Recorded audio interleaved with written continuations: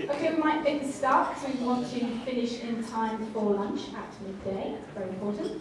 Um, so my name is Laura Miller. I work in the epidemiology branch, obviously, and the session that we're going to talk about now is going to give you some more information about the different data sources that we have in the epidemiology branch that you can um, access through us, um, and the types of information you can get from the data sets, and also some of the um, possible limitations and things to think about when you're analysing this data.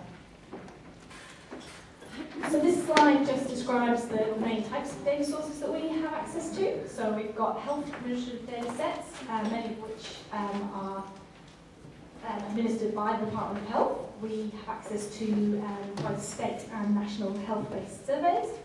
We have some geographical and spatial data. We have a lot of social demographic data, and as Peter mentioned, um, it's really important that we have good population data for the types of measures we um, often analyse. Um, we have burden of disease data, which has come up a couple of times this morning, but we'll talk more about that. Um, and we've also got some costing data that you guys can use. First of all, talking about the administrative data sets. So um, we have a range um, that we have access to, and the dates there are the dates that we have the information for. Probably the most well-used um, data set is the hospital um, records. Um, we have that information from 1989 up to 2012. And um, when people are admitted to hospital, as you probably know, um, they're getting a diagnosis. Um, so we can then work out, for example, we can select out people who have been diagnosed with having an injury. We can work out what um, type of injury they had and also to what body part. We can um, look at the external cause of the injury, so whether it was um, caused by um, a road traffic accident, a fall, um, drownings, that sort of thing. Um, and we can also um, pull out information on the activity the person was doing while they were when they um, got the injury, and also the place of occurrence of the injury. In terms of death registrations, obviously that's the sort of pointy end of health, sort of worst case scenario, but we can identify people who have died of things like road traffic accidents, suicides, assaults, that sort of thing, and we have that information up to 2011. We also have some emergency um, attendance data, um, so that's a bit more recent from 2007 onwards. And again, um, for the metro area especially, we can um, pull out numbers of emergency attendances for various um, injuries. We've also got some other data sets which may um, be sort of less relevant in terms of injury, but um, it's good to let you guys know that we have access to them and they could be useful for other areas of work. So we have mental health occasions of service, um, and within that data set, um, was looking at the mental health um, ICD codes, but there are also some um, uh, drug and alcohol related um, codes that we can pull out from that data set. We have cancer data, um, so that's cancer incidence and mortality data. Going back to 1982, um, we have midwives and birth records, and also infectious disease notifications. So I'll go into each of the um, data sets in a bit more detail now. Um, but before I do that, just in terms of um, sort of the administrative data sets more generally, and we sort of picked up on this in the request um, exercise you guys were doing, um, a lot of the data sets that we um, um, have access to, we can break them down to um, into different um, groups, I guess. So you can look at um, how um, the injuries are changing over time, so look at different years. You can look at um, differences by age group, by gender, um, aboriginality. Um, and as we've touched upon, um, you might be looking, interested in looking at specific injuries, so what types of injuries are occurring. You can also um, break down the data by geography, so it could be health districts, um, local government areas, that sort of thing. And also by socioeconomic um, areas, so that's SEIFA, socioeconomic indexes for areas, and also um, remoteness, so using the um, accessibility and remoteness index for Australia. So this um, data here just shows that we can break stuff down, for example, by age and also, uh, sorry, by um, gender and by year. And just in terms of the data sets generally, uh, Peter has already mentioned that um, we can't uh, report on really small numbers or um, individual cases uh, for confidentiality reasons. Um, we also need um, a minimum number to run some statistical tests. Um, so we might have to group, for example, areas together, or we might have to look across a couple of years to make sure the numbers are big enough. We don't usually provide information by specific hospital or admission, that sort of thing. Um, and um, if you're wanting to look at differences between Aboriginal and non-Aboriginal people, some of the data sets, um, coding isn't great, especially in the death data, but I'll talk about that a bit more in, in a moment. So, going into the hospital data into a bit more detail. Um, so this data set has all hospital admissions um, occurring in WA hospitals. And I guess just need to think about whenever you're looking at any data set, you always want to think about what the purpose of the data set, you know, why was it collected? Um, and this data set was collected um, for um, planning, allocating and evaluating health services. So it's not specifically an injury surveillance register, so we need to bear that in mind. Um, and also there are certain um, exclusions that um, so people who aren't who will not appear in the in, in this data set. So for example, this data set does not include um, outpatient occasions of service, so um, you'll be missing out on that. Um, and I guess one of the, the positive things about this data set is it's actually it's got a lot of information. We can pick out um, not only the number of admissions for certain types of injuries, but we can work out well how many people does that relate to. Um, and also, I guess um, we can we the, the data is set up in terms of um, people. You can tell when people had, were first admitted, um, for example, for a road traffic accident in Broome, but then were transferred down to Royal Perth Hospital. So you can start to see some of the, the flows of patients as well.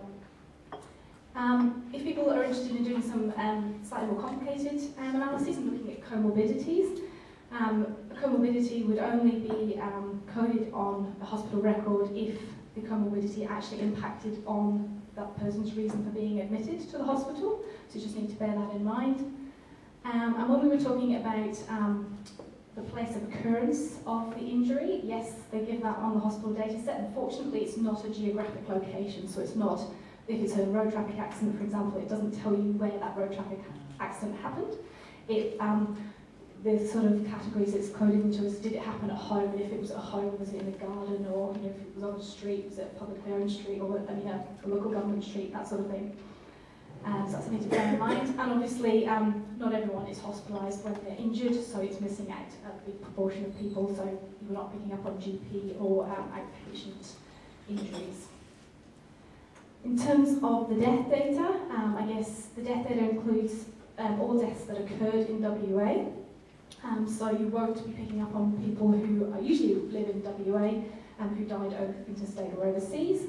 Um, just to bear in mind with the death data, there's a lag in terms of the registration of deaths. So somebody might die in 2009, but the death might not actually be registered until 2010 or maybe even 2011. Um, some, some, sometimes that's because um, have to get the coroners need to be involved in terms of determining what the cause of death was. So that um, introduces a bit of delay. And then um, that information takes a bit longer to get to us in terms of working out the cause of death. So that's what we mean about the delay in receiving coded causes of death. Um, also, if you compare some of the um, statistics that we might give you to um, things you might find online from the ABS, because the ABS um, also do um, death statistics, we always report our death data by the year of occurrence of the death, so the year the actual person died, whereas the um, ABS reports um, the year of registration of the death. So just bear that in mind. You can get quite different numbers. And because of the um, delay in the registration, the most recent years um, of death data are actually preliminary and they're likely to change. So if you're looking at trends in death data, the last year that we give you um, is likely to be likely to potentially go up and, um, as more um, deaths are registered. And in terms of the Indigenous status issue, um, a lot of, so when people die on their death record, there's a question saying, was this person of Indigenous background? Unfortunately, not, that question doesn't always get asked by the funeral directors to the families of the deceased, so there's lots of missing data.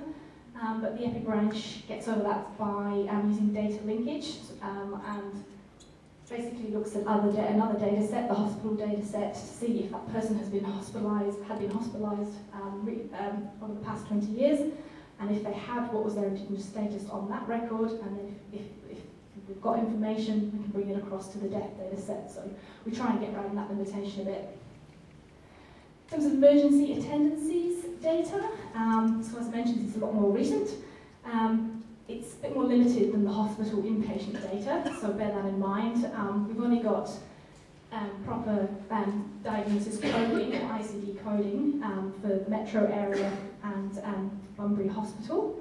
So in most of the country um, hospitals, we've just got, um, in terms of the reason for the person being in ED, we've just got the major diagnostic, a major diagnostic category, which is a lot more broad. And we can't determine the external causes um, of the injury or the place of the occurrence of the injury like we can in hospital data. Um, so I'll just quickly touch on some of the other data sets. Sarah's going to actually be talking about health survey data in a lot more detail. Um, it's come up a little bit in the request this morning. So in the Department of Health we have um, a number of surveys which we um, run and have access to the data for. So probably the main one that we use is the WA Health and Wellbeing Surveillance System. Um, it's a phone interview a representative sample of the um, WA population. We also run a patient evaluation of services survey and um, recently we've started up a WA nutrition survey. Um, but obviously there's also data available at a national level, so um, there are national surveys that would be of use. Um, so we've got um, the Australian Health Survey, it's run by the ABS, and it's just recently had some results out. We've also got data from the um, Australian Early Development Index, that's a survey of kids when they first reach school. And there's also data from the National Drug Strategy Household Survey, but Sarah will talk more about these. In terms of spatial and geographical data, I guess the idea behind this is that all health events occur in a place. So people live in certain locations, they get sick in certain locations, and they get treatment in certain locations. And, and um, it's often important to look at some of these relationships. So we've got um, data on uh, different boundaries. Um, we've got the locations of various facilities. Um, and you know, we can look at things, um, the locations of alcohol outlets, fast food outlets, tobacco outlets, um, all that sort of stuff. So this, these sort of data sets can be used in maps or in spatial analysis. Grace will be talking about that a bit more in a moment. And yeah, we mentioned socio-demographic data, which is really important for giving an idea of the makeup of various areas or various populations. Um, and so you can look at things like the socio-economic makeup, you know, the sort of levels of deprivation in different areas um, and how remote different areas are. And um, as Peter mentioned, we uh, put together our own population statistics using information from the ABS. Um, so, burden of disease is another data set that you can request from the Department of Health and has come up a couple of times, so we'll go into that in a little bit of detail. Disease is basically a summary health measure, and as Peter mentioned, it is created using a number of different data sets. Um, and the idea of it is to get an idea of overall population health, so not just looking at the hospitalised population or the, the worse off, we're also looking at um, uh, ill health in the community. And it's made up of two sections, um, so there's a mortality part and a disability part. Um, and so the mortality, measuring the number of years of life lost due to premature death for certain conditions and disability is the years of life lost due to people living in less than perfect health. So they're alive, but they've got a condition in it and it's affecting their health. Um, so what can be useful? Well, it's pretty good um, to compare different um, conditions against each other, so you can check whether um, how injury is doing compared to you know, cancer or cardiovascular disease. You can use it to monitor, monitor disparities between different population groups, um, different areas. You can um, specifically look at the non-fatal part of burden of disease. It can be split up into the mortality and the disability section, so you can look at the, the disability part in more detail. Um, and we can, if we've worked out the, the burden of disease, for example, due to injury, we can work out um, how much of that burden is attributed to various risk factors. Um, so alcohol is one of them. Um, and I guess it can be used in sort of priority setting and planning, and it's also been used in uh, to inform cost effectiveness studies. Uh, so this is just some of the data we have, just to give you an idea. So this is this represents the total burden of disease in WA in 2006. Um, so it's the leading causes. So cancer um, accounted for the most burden in the, in 2006. Um, but the coloured bars represent um, the amount of burden that's um, due to, first of all, the years of life lost due to premature death, which is the dark blue, and then the light blue is the years of life lost due to living in less than perfect health.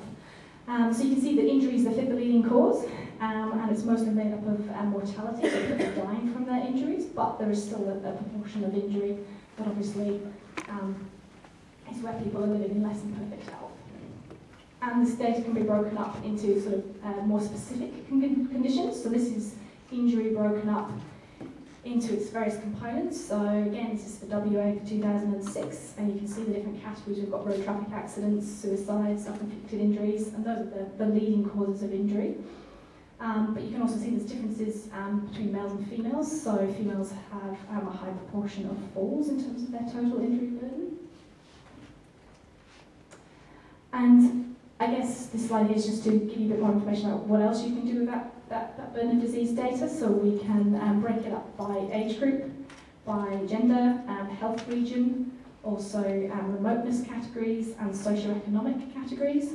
We've also got it by um, Indigenous status, and we've got information on around 180 different conditions, and uh, injuries are, are some of those. Um, we've also got projections to 2016, and we've also um, quantified the amount of burden that's attributable to various risk factors as well. Um, so one thing to bear in mind with this data is it's actually starting to get a bit old, so the study was done in 2006, so um, that's just something to think about when you're using it. Um, the most recent national study was actually 2003, so that's even older. Um, but they are actually at the moment doing a new national Australian burden of disease study. It's just started, um, based on the new methodology that the, the new global burden of disease study um, has just um, started publishing on. So this is just a quick slide just to say, um, if you're interested in, in looking at the global burden of disease study, then they've published lots of papers in the Lancet and um, they basically um, put together a whole new um, sort of improved methodology for measuring burden of disease, and eventually we'll be using this methodology to, to, to update our WA estimates. Um, but yeah, so, and they've also, I guess, um, started to look at a number of extra risk factors as well, which is really good. Now, so um, just in terms of risk factors, we've talked quite a bit about, you know, looking at how much of uh, how many hospitalisations or how many deaths or how much burden is attributable to something like alcohol. Um, well, this is, this is how we do it. Um, so this is this indirect method that Peter was talking about. So we use this thing called a population attributable fraction.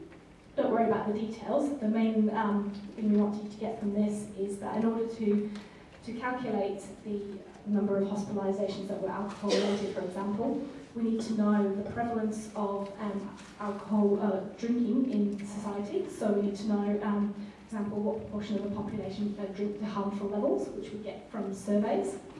Um, and we also need to know that, okay, if people are drinking heavily um, or, or harmful, risky levels, sorry, um, what is their increased risk of being hospitalised for injury or for getting cancer or that sort of thing. So those are the two pieces of information we need to use. We then apply that um, to, we can apply it to burden of disease data or hospitalisations data. Um, and we've, as I mentioned, we've applied it to the burden of disease study. So this is just um, from a report that you can, um, you can get online. Um, so when we cal calculated the total burden of disease in WA in 2006, we also looked at um, nine different risk factors, um, and we worked out that around 29.5% of the burden was attributable to these, the combination of risk factors. Um, if you look specifically at injury, of the total injury burden in 2006 in WA, um, around 18% was due to um, harmful effects of alcohol. Um, so that was using that method um, to look at burden of disease. We can also apply that population attributable fraction to um, hospitalisations. So this is from the um, epidemiology of injury report, um, which is available online. And it's basically telling you the number of um, hospitalisations for alcohol-related community injuries by gender, and yeah, using that, that method. So these, these hospitalisations, these numbers, and um, relate, specifically relate injury, injury hospitalisations that are specifically related to um, alcohol. Um, and then just quickly touching on the costing data that was mentioned. Um, so we can give you costs for um, hospital admissions um, using um, uh, costs assigned at the national level for diagnostic related groups. We can also derive estimated costs for emergency department attendances based on their, the triage category and the type of hospital.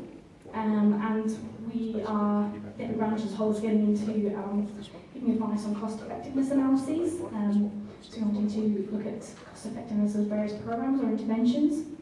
And just to flag, there's actually a new cost of injury report um, currently in progress. Um, it's being um, conducted by Curtin University, um, and Erica is actually involved in that project, so if you want more information, speak to Erica about that, but I think they're looking at um, getting that together, is it quite early next year, is the report expected? Hoping to finish by the end of this year. End of this year, but okay. Probably beginning next year. Okay, cool. So that's in progress, and they're looking at in detail at the indirect and direct costs of injury. So that'd be really good. Um, and just the last slide from me. Um, so just to let you know, obviously we've got lots of good data sets, but um, it's good to um, look at what else is available. So the Institute of Health, um, Australian Institute of Health and Welfare is a really good website. Got a good search engine. Stick injury into the um, search box, and loads of really interesting um, injury reports will come up. Um, and also the ABS website, there's a couple of um, publications we've listed there. If you stick in the catalogue numbers, um, they'll pop up. And yeah, just the value of the census data as well, just for getting an idea of types of populations you've got in your area. It's really, really useful. Now I'll pass you over to Sarah, who will talk to you more about the survey data.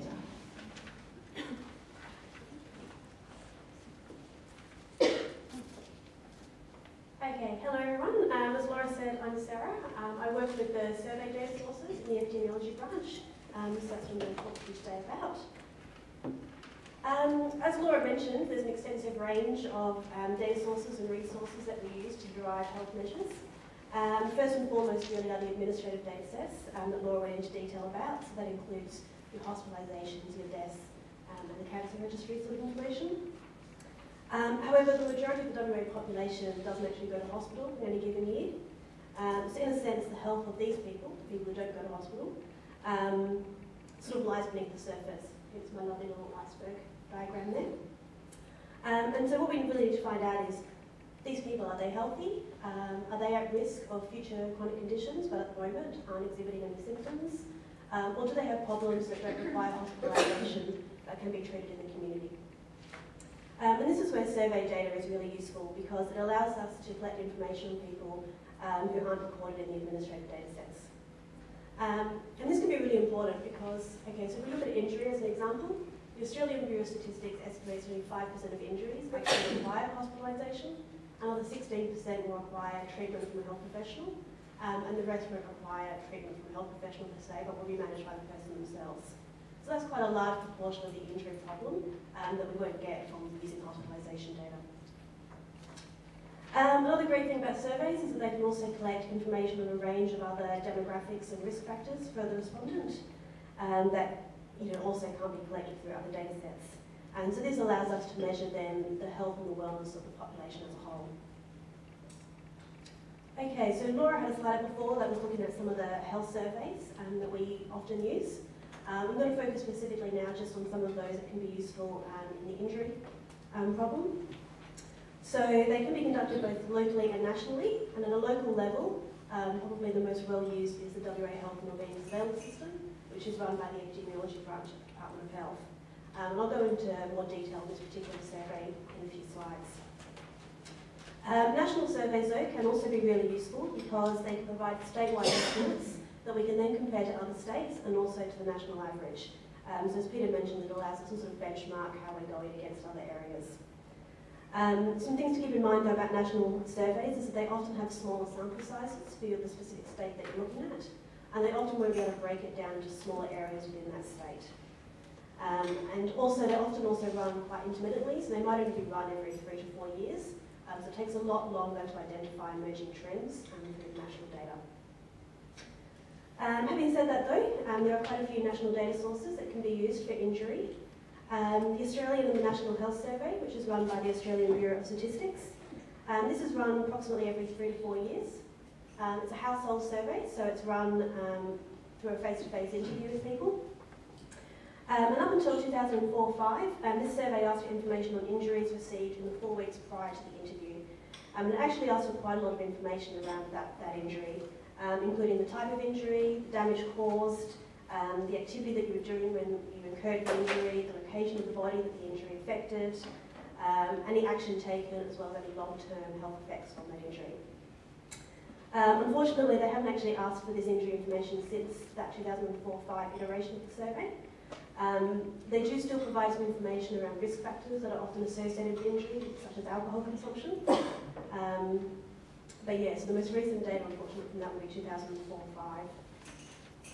Um, the Australian Bureau of Statistics also run um, a work-related injuries module. Um, they conduct this as part of their um, multi-purpose household survey. Um, this collects information about people who've experienced a work-related injury. Um, and again, they ask for the type of injury, how it occurred, if any compensation um, was required. And this is conducted every four years. It was last run in 2009-10, I believe, so there should be a new one coming up quite soon. Um, finally, the National Drug Strategy Household Survey. This is run by the Australian Institute of Health and Welfare. Um, again, it's uh, run approximately every three years. This survey is conducted as a mail-out, so people get posted the survey and then um, send it back when they've completed it. It doesn't collect information on injuries um, specifically, um, but it can be quite useful to determine um, the prevalence of risk factors such as alcohol consumption um, and drug use.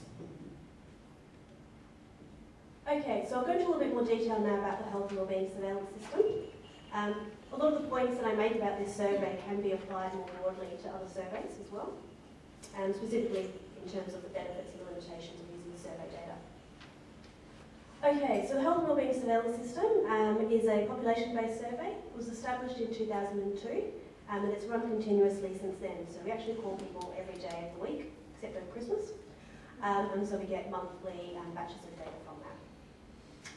So a random sample of the WA population is selected from the white pages um, and they're asked to take part in an approximately 25-minute telephone interview. We oversample in um, some of the rural and remote areas of WA to make sure we get enough people in those areas to provide reliable and, and valid statistics estimates. Adults aged 16 years and over um, are asked the adult survey, and for children under the age of 16 years, an appropriate parent or carer is asked to complete the child survey on their behalf. Uh, once the data is collected, we then weight it um, to adjust for the sampling methods, and then we standardise it to the age and sex distribution of the WA population. And this then allows us to provide population-based estimates as opposed to just a sample estimate. Um, it's also important to um, look at the response rate of any survey that you're using. Um, we're very lucky in that the WA population is very good at filling out our surveys. Um, we have approximately a 75% more response rate and a 90% participation rate in the health wellbeing surveillance system. Um, and so having, having that um, really good response rate really helps improve our, I guess, confidence in the results that we're able to provide. Um, and so whenever you're using survey data, I'd always recommend checking what the response rate is for that particular survey so you can see how representative it is of the population. Can I ask how you get them to fill out such a high rate? Yeah, That's, um, that's phenomenal. There's a few things. I think in general, the WA population is generally much better than the rest of the country in answering surveys. Um, we have a really good survey collection team uh, up at ECU Survey Research Centre. Um, they're very well trained interviewers there. Um, they treat this survey as their baby and they do everything possible to get the person to answer it in a nice way. of course. um, we send out approach letters that it's signed by our Director General, so I think that really adds some authority behind the survey. Um, and because it's coming from the Department of Health, I think people are um, aware of the importance of it and are very willing to complete it to help us. Um, when we send out the approach letters, we'll often get people calling up to say, oh, I'm not going to be in for the next week because I'm away, but I really want to answer it. Can I schedule my interview before I get back? And, you know, it's great to get that from people. So, yeah, probably the main factor I put down. Um, in addition, um, the health and wellbeing surveillance system is one of the few in the country that is run on that continuous basis. As I mentioned before, it's we're, we're calling people constantly, and that gives us a great capacity then to analyse trends over time. Um, and it also means that our estimates aren't affected by seasonality. Um, so data from the health and system is used um, quite extensively within the department for a number of performance indicators. Um, it's also used on a national level, um, as well as for specific requests that we get from you know, local government areas, NGOs, um, and universities. Okay, so a little bit of a busy slide, but I guess I just wanted to um, illustrate all the sorts of areas that the survey covers. So for each respondent, we're able to collect information on a wide variety of health-related variables. Um, so under the chronic conditions, this is where we ask people about their injury, um, but we also ask around physiological risk factors, um, their lifestyle risk factors, their levels of physical activity, um, alcohol consumption, nutrition, etc. Um, there's also a lot of questions around um, their socio-demographics. So it makes it a very rich data source for us to use. Okay, so I'll look specifically now at some of the questions in the health and wellbeing surveillance system on injury. Um, everyone, that's adults and children, are asked a question um, about whether they had an injury in the past 12 months that required treatment from a health professional. If they say yes to this, they're then asked if that injury was a fall. Um, so this question has been asked consistently for adults since 2002, and it's been asked of children since 2007. Um, so based on this, we can then provide a population prevalence of injury overall, um, as well as the estimated number of people in the, pop, uh, in the population who um, that this equates to. Um, and as Peter was mentioning before, this is technically called period prevalence because we're asking over the last 12 months. Um, we can also provide the mean number of injuries or falls experienced. And I'll just show you sort of a typical output that we would provide to someone who requested injury data from us. So you can see this table here is looking at prevalence of injury, and that's always stated as a percent, because we're looking at the proportion of the population that it affects. Um, we can break it down by sex. Um, we can also break it down by um, other different breakdowns, such as age group, um, health region or area, um, some socio-demographic variables. Um, sometimes this will be restricted based on the numbers that we have in those areas, and as Peter mentioned before, um, having the appropriate numbers to run a statistical test and also the confidentiality as well. It's important. Um, so if we looked at this, we can say that almost one quarter of the WA population in the past 12 months self-reported an injury um, that required treatment by a health professional, and this equates to approximately 446,000 people. Um, we can also say that falls accounted for almost one quarter of injuries, um, and that overall 6.6% of the population reported a fall injury in the last 12 months, which is approximately 120,000 people. Okay. Um, we also asked some questions in the survey about alcohol consumption, um, which will be useful given the exercise that we're doing later. Um, so adults are asked questions around the number of drinks on a typical drinking day, as well as the number of drinking days they have in a typical week. And from this, um, we are then able to classify people according to the NHMRC guidelines um, in terms of their risk for short-term and long-term harm from alcohol. Um, so these questions have been asked consistently since 2002. Um, and again, we can get a prevalence uh, of adults consuming alcohol at risk levels for those two levels. Okay, so just in general, some benefits of, um, of using the survey data, and in particular the health and wellbeing surveillance system, is that it does give us capacity to analyse trends over time. Um, and depending on the frequency of collection, this can also be applicable to other surveys as well. Um, another advantage is that because we collect information on a wide variety of variables for each respondent, it gives us the ability to look at interactions between variables. So, we, for example, we might be able to look at um, levels of injury amongst people who do a lot of physical activity versus people who say that they don't do a lot of physical activity.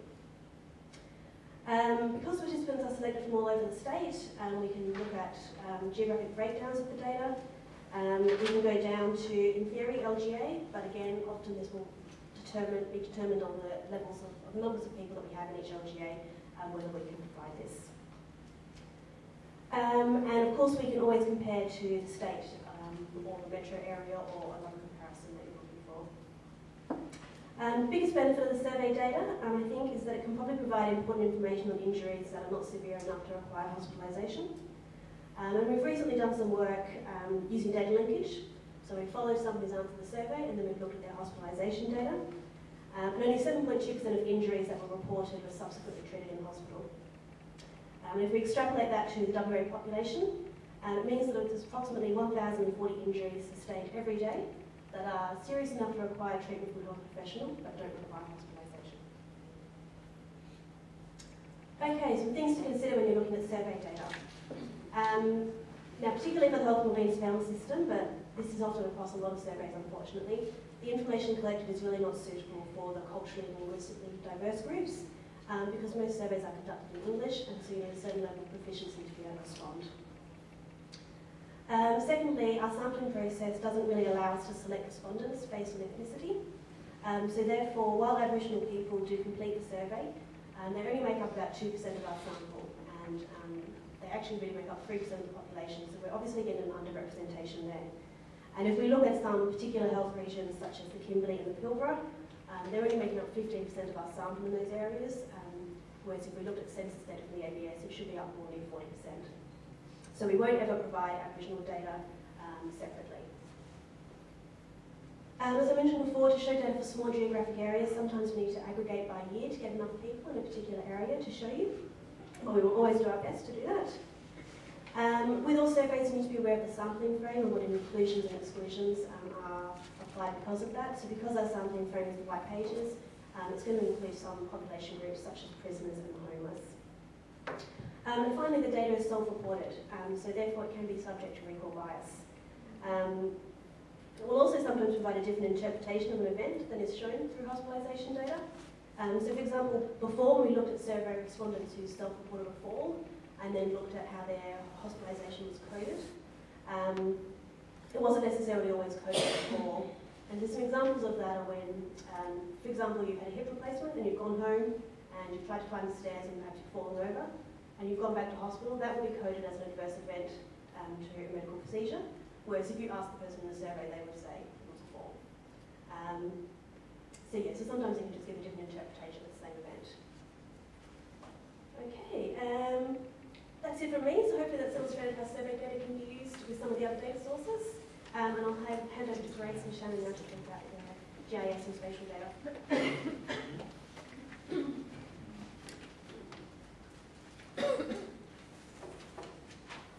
Hi, good morning, everyone. Um, I will talk about a little bit about GIS and spatial data general, um, send some of our work, um, see how, how we map the da- injury data. Okay, um, geographic information systems, um, short SGIS, are computer-based systems, um, com- which combine and analyze spatial data.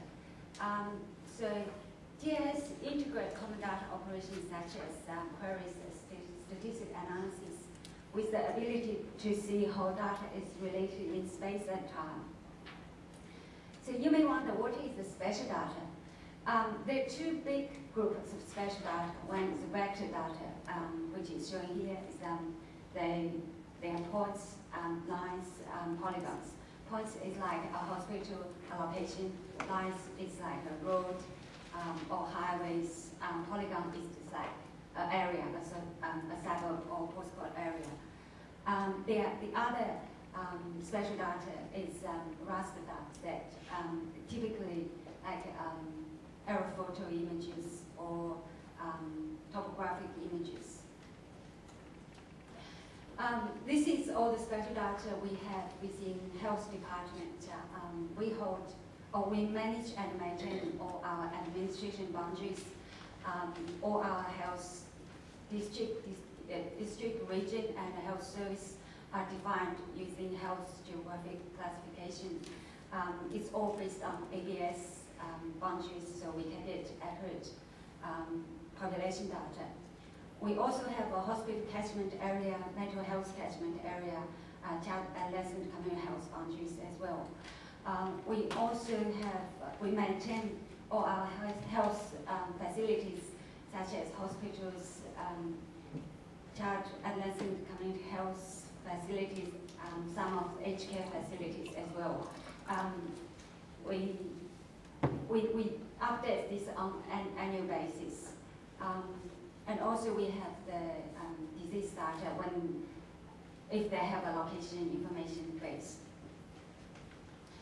So uh, we also get lots of information from the other government agencies. Um, Landgate is our main um, data provider for the base data, like um, all the like um, LGA boundaries, um, local uh, um, locality boundaries, all the roads, um, property street address, um, cadastre, um, geonoma. geonoma is just all the geographic name um, in WA. It has millions of records.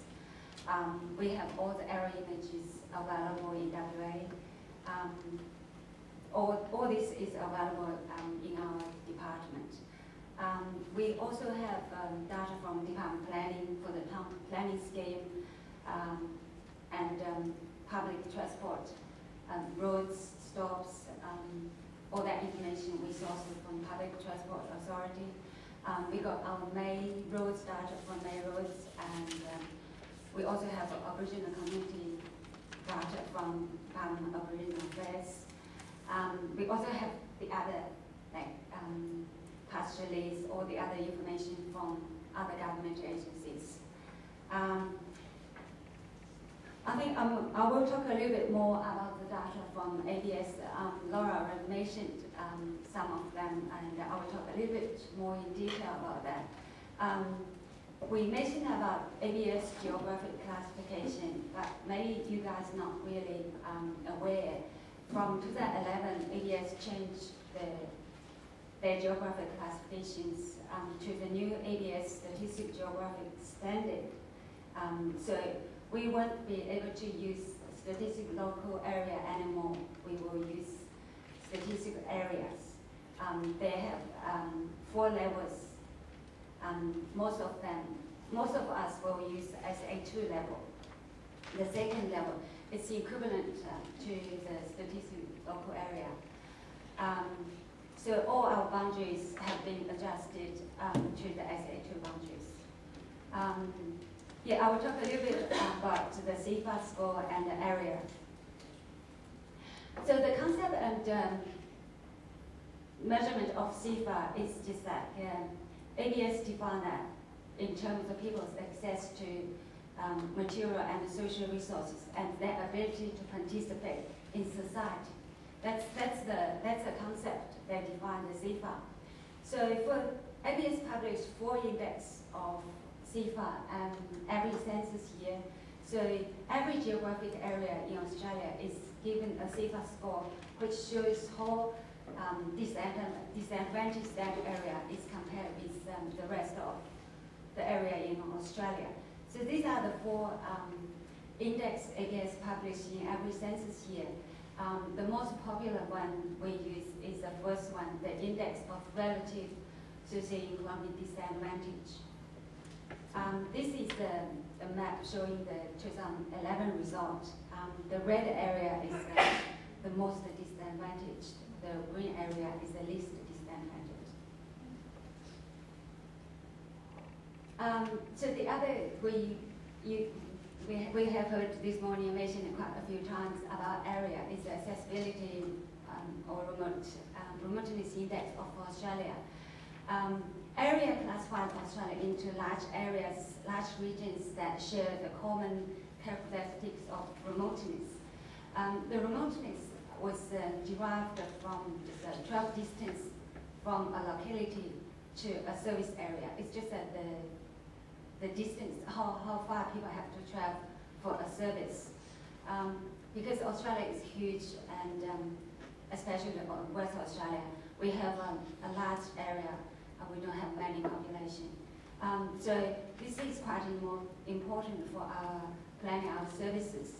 Um, ARIA actually is developed by the Australia Population and uh, Migration Research Centre and uh, University of Adelaide and it is widely used in Australia.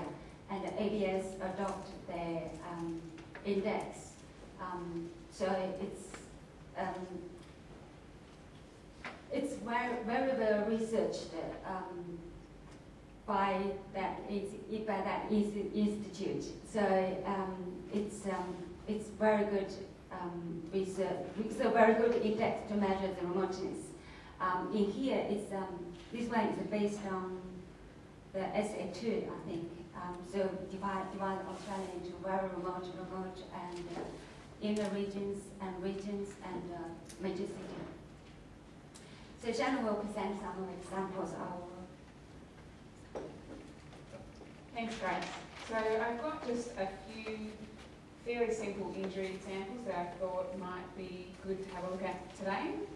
So this ties in a little bit to what Grace was just showing about ARIA and remoteness. So this is looking at the average travel time between injury and first provider. And it's not, it's just been calculated, we've calculated it ourselves using some measures and this is just the way that sometimes when you see data and it's in a table, well, I make maths, so I think So I sometimes think that a map can really highlight what's actually happening, especially because our state is so, so huge and it's quite varied in what's happening. So you can really see here that there's some pockets that maybe have some probably more potential issues if people have injuries there. There's obviously a lot longer time for people in the big red colours that uh, will actually get a first provider or someone on, on hand for assistance. And here I've got another, it's pretty um, difficult to see that there's any variation there, but that's sometimes what the data shows you. So this is showing here emergency department attendance due to injury, poisoning and toxic effects in Aboriginal males, and it's using rate comparisons. So before, uh, I think Peter and maybe Laura have mentioned a little bit about um, rate ratios and things like that. So this is comparing how an area, and I know someone asked about health regions and health districts, so we're using some health regions on here, some health geographical areas, and comparing how that region is going compared to the state. So the red areas, in terms of um, comparison of how people are attending emergency departments due to injury, the red areas are there's more people attending emergency compared to the state, and in the North Metro, South Metro and Southwest, less people compared to the state. So it just depends on what you're trying to look at. Sometimes that can be helpful. So this next one is injury-related deaths for non-Aboriginal people over 2001 to 2010. And I know before, I think Peter's mentioned that sometimes if you have some specific data that you want, we might have to aggregate it across years. So to make up numbers, sometimes it's better to have a look at nine, ten years worth of data, then we might not be able to give it to you just for one year's worth of data. So this is just total people, and if I go to my next slide, it's the same thing, but it's just looking at males. So sometimes if you're looking at a combined total of what's happening, it's quite a different picture to males and also to females. So females paints a very different picture to injury-related deaths compared to the combined or even the males. So it's really depending on what you're looking at, and especially going back to that example that Peter had earlier. If you're looking for, you know, a strategy for the whole state, and if you targeted just at combined, you might end up getting quite a different picture if you drill down a little bit further and break it into the different sexes or maybe even age groups. So it's always worth thinking about what other data is there available and will that help me paint a different picture that might help you target the areas that you're interested in.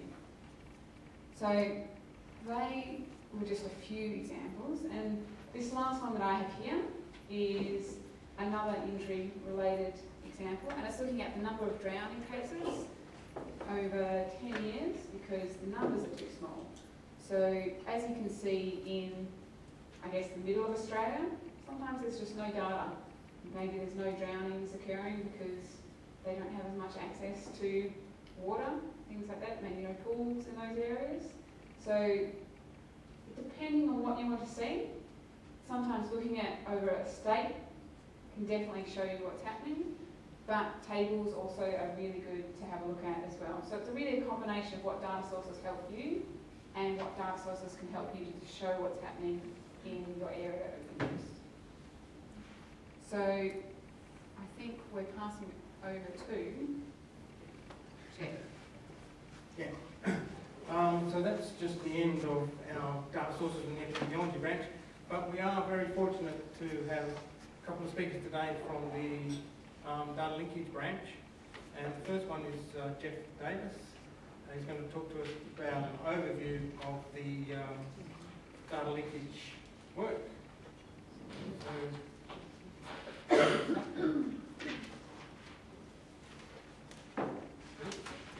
Thank you. Do I need to use this microphone or can you hear me if I just uh, speak with my... Oh, okay. All right. So I've been instructed to use the microphone. So good morning everyone, I'm Jeff Davis and I'm here to tell you about data linkage and just catch up in my notes here. So data linkage refers to a methodology for joining together bits of data for information and so it could be information sort of coming from all sorts of sources. Uh, but in our case, we're interested in information uh, about people. And so, having said that, I'd like to start with an observation about the behaviour of people.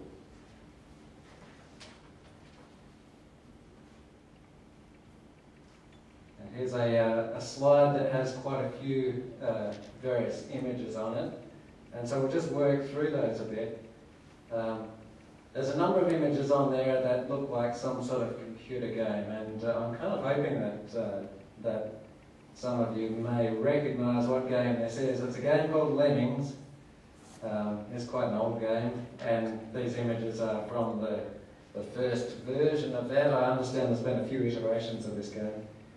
Anyway, so uh, this image uh, with the gold pillars in it, let's have a look at that. So the object of the game is that these uh, little creatures sort of drop into the, the level that we're playing, and um, you can see there's a, a hatch up in the sort of top left-hand corner there. So all the lemmings drop out of the hatch, they come into this into this level, and the object is to get them to the exit and get them all back out of that level.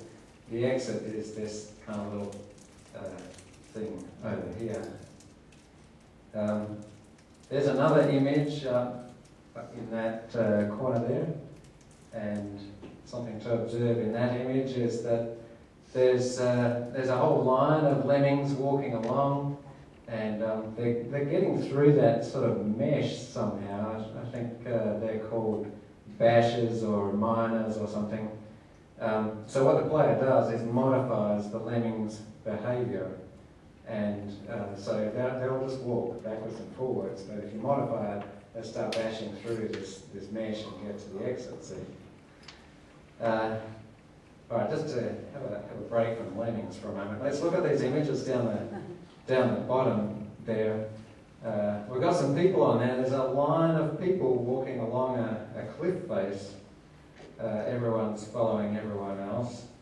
And, uh, and there's an, another image over here where we've got some, some people, I think that's in, in uh, China somewhere, um, where there's some, some pretty specky bushwalks, if you could call it a bushwalk, and they're making their way along the ledge there, everyone's following each other. And in the middle of that, there's someone's feet, it looks like they're about to step off the edge of a cliff, perhaps. Anyway, back to lemmings. So, um, with lemmings, check out this image in the middle here. Um, that, I just put that there to show you what happens to a lemming if you don't intervene in the lemming's behaviour. If you just let them go, and if they sort of drop down, they can drop down some distance and they're alright, but if they drop down a big distance, then they go splat on the ground and turn into lemming soup or something. And so, uh, so what happens is that the player intervenes, and you can see that on the on the gold pillars there, um, that when the lemmings step off the edge, if, if the player intervenes, they can turn them into floaters. You can see one of the lemmings has an umbrella if you have particularly good eyes, and so they float down and they don't turn into lemming soup after all. Uh, a few more images on there. There's a line of people, that's in uh, just the very bottom corner. A line of people are walking along the top of a cliff and they seem to actually be going over the edge of the, the cliff. So, uh, and, and a couple of feet in thongs down here that look like they're stepping off the, the edge of a cliff or, or have done or something. So what I'm trying to do here is to show you by going backwards and forwards between the lemmings and the images of the people is that there seems to be some parallels, uh, similarities between human behaviour and lemming behaviour. And uh, and so you're kind of thinking, well, you know, I'm, I'm going a little bit too far with this um, analogy because if, if there's a cliff over there and, uh, and I see someone sort of run and throw themselves off the cliff, uh, we're not about to sort of follow them over the edge of the cliff, are we? I'm not going to say, whoa, man, look, that dude just threw himself off the cliff. That's so cool. I'm going to do it too. It's just not going to happen. So, um, nevertheless, well, maybe it will happen. Okay, so let's just agree for the purpose of this presentation that there's some similarities between uh, people and lemmings, and we're seeing some rather lemming-like behaviour in this image. So having observed that, what then can we learn from uh, observing the lemmingness of people? Well, in the game of lemmingness, eh, sorry, in the game of lemmings, uh, they all follow each other around in a line, more or less, and we can see where they've been, where they are now, and where they're going to. And we can make a pretty good guess at what will happen to them if we don't intervene. Okay, so people are like lemmings, great, but we don't exactly have people conveniently located in a computer program. I guess if we did, it wouldn't be called lemmings, what would it? Be called peoples, perhaps. And we'd all be looking uh, forward to the next, the next release of the lemmings game, uh, of the people's game. Uh, so, right, moving on from that. Uh, I just want to.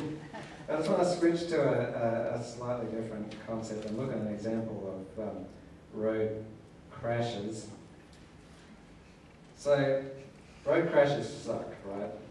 And how much do they suck? Well, we can go and ask Epi because they're pretty good at measuring these sort of things. And, uh, and so Epi says, yeah, hang on, I'll just go and get my suckiness level uh, calculator. And they're going to calculate something. What are they calculating? Well, they might count up uh, numbers of hospitalisations. They might count up numbers of deaths associated with road crashes or convert those into rates.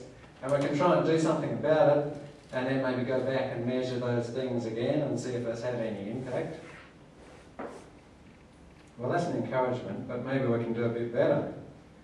To do something, to intervene, we really need to know what led to the crash, what was the person's circumstances, what was their health like, what sort of vehicle were they in, what was the environment like, did they have a history of uh, drug use, legitimate or otherwise.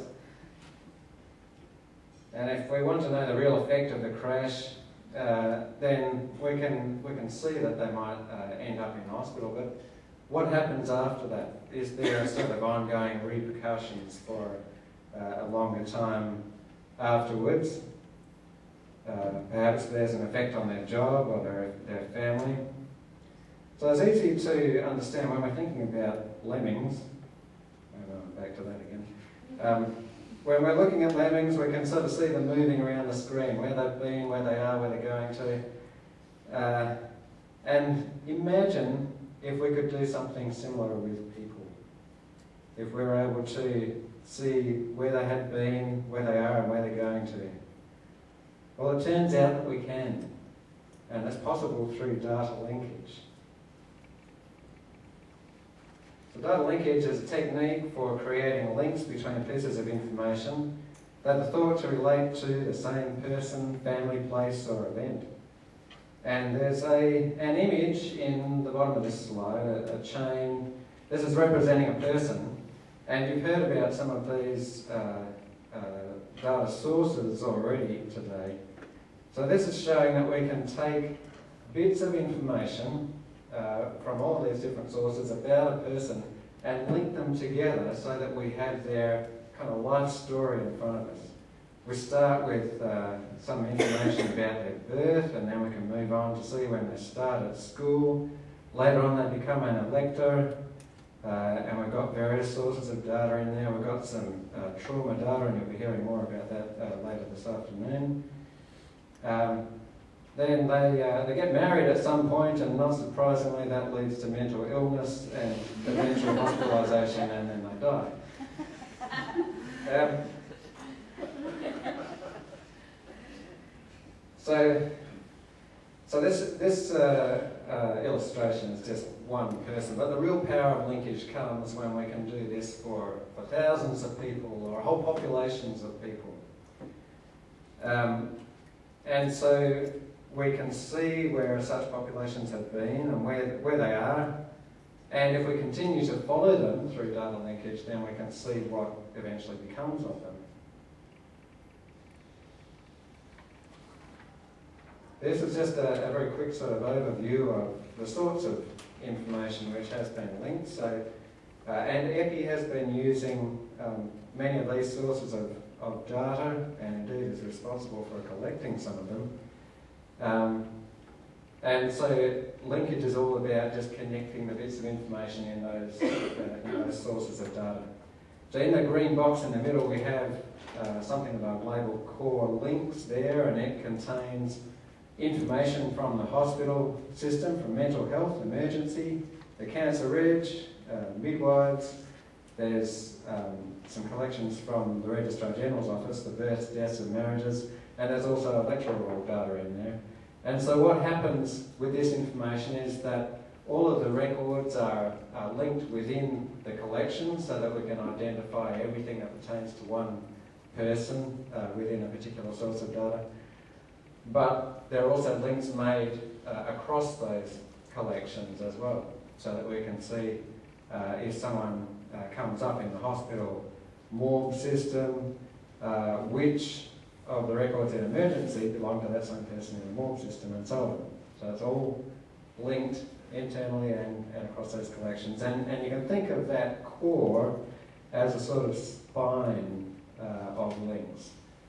And everything else we link to that spine. So you can see there are other sources of data um, around that core, and I won't go through the whole lot, but just to point out a few.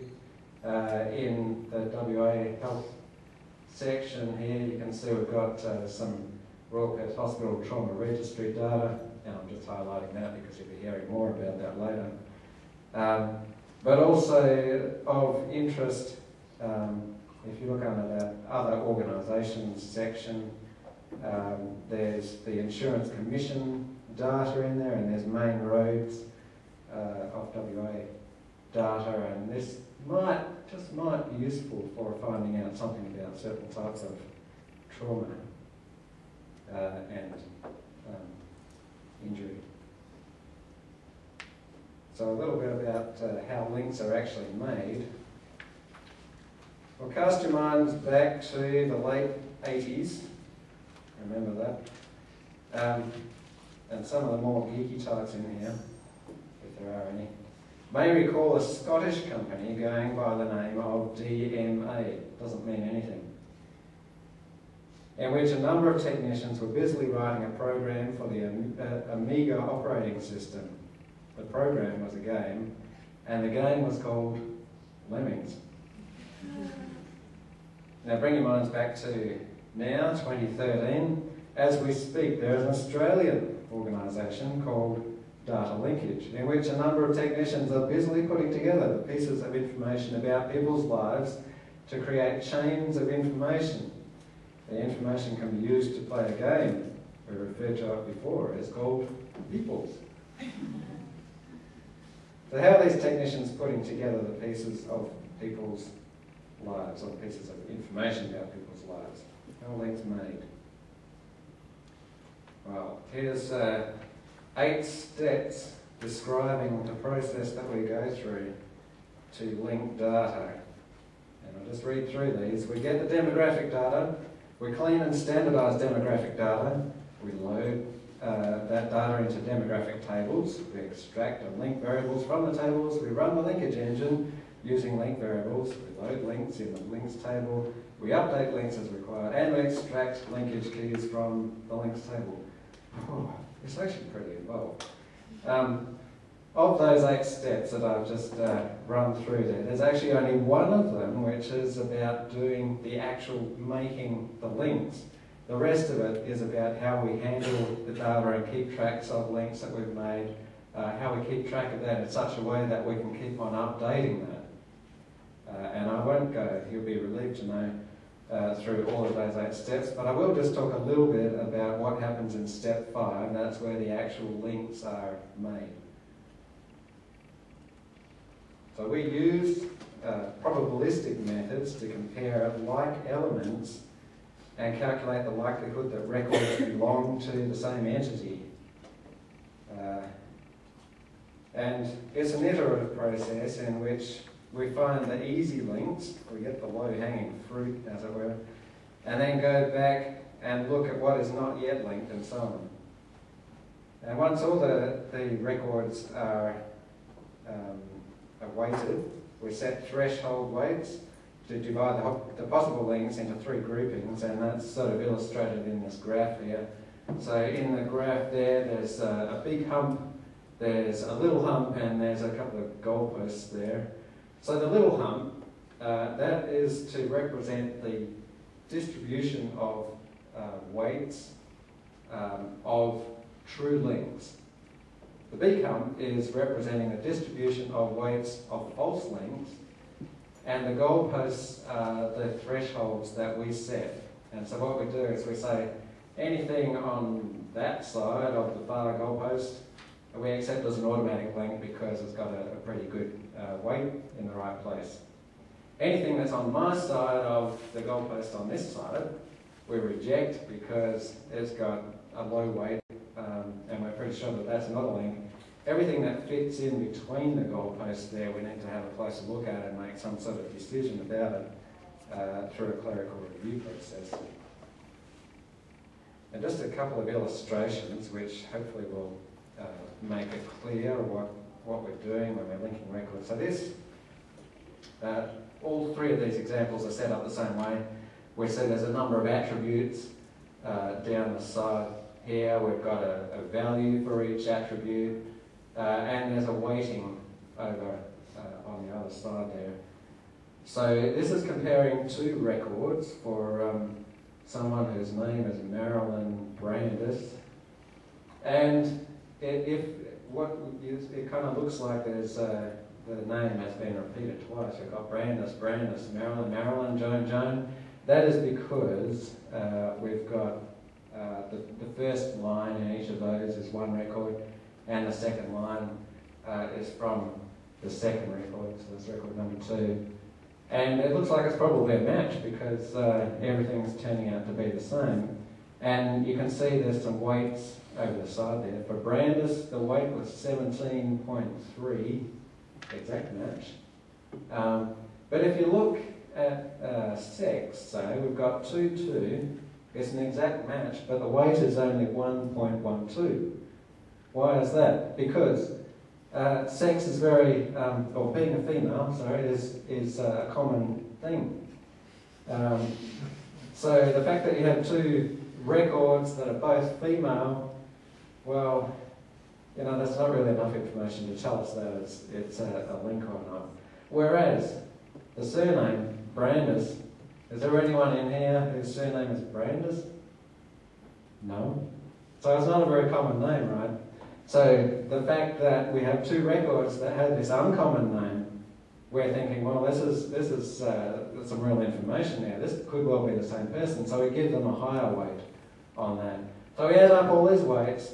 Uh, we've got a total in there, uh, and that is uh, uh, what we use to make a decision about whether to link or not. In this case, it is a link. Here's an example of a not link. Uh, and you can see there are differences there. The surname is different. We've got Gilbert and Smith, different, different surname. The first name is the same, Elizabeth uh, and Elizabeth. The second given name, it would have the same initial, but they're actually different names, Sarah and Susan, different dates of birth. Look at the weights down the other side there. We're getting even negative weights there. Um, and so the total weight down the bottom here, minus 14.81, yeah, we can chuck this one out. That's not a link. One more example. Now, uh, in some cases, um, where we can't quite make a decision. So if we have a look at what's going on in here, uh, when we run our, um, our linking software, we get our weights assigned. Um, so for the surname, 7.64 because Brown is an exact match to Brown. Um, in the given name, we've got Malcolm and William. They're two different names. So we've got a low weight there.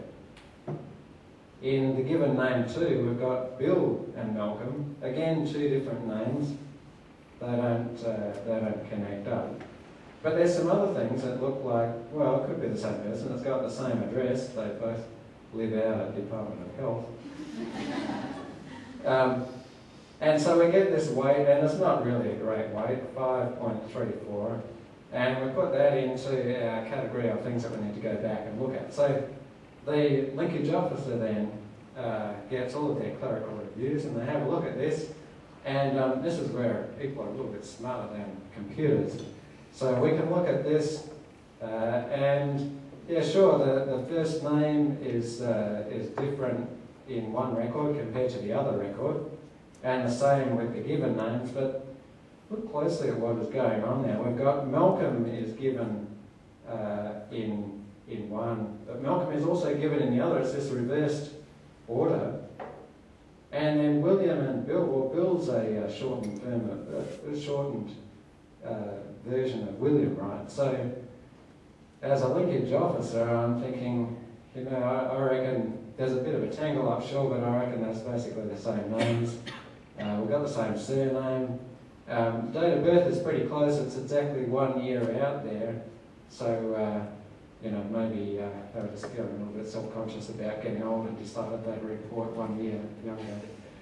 Um, so as a, as a linkage officer, I'd probably say, having clerically reviewed that, let's accept that.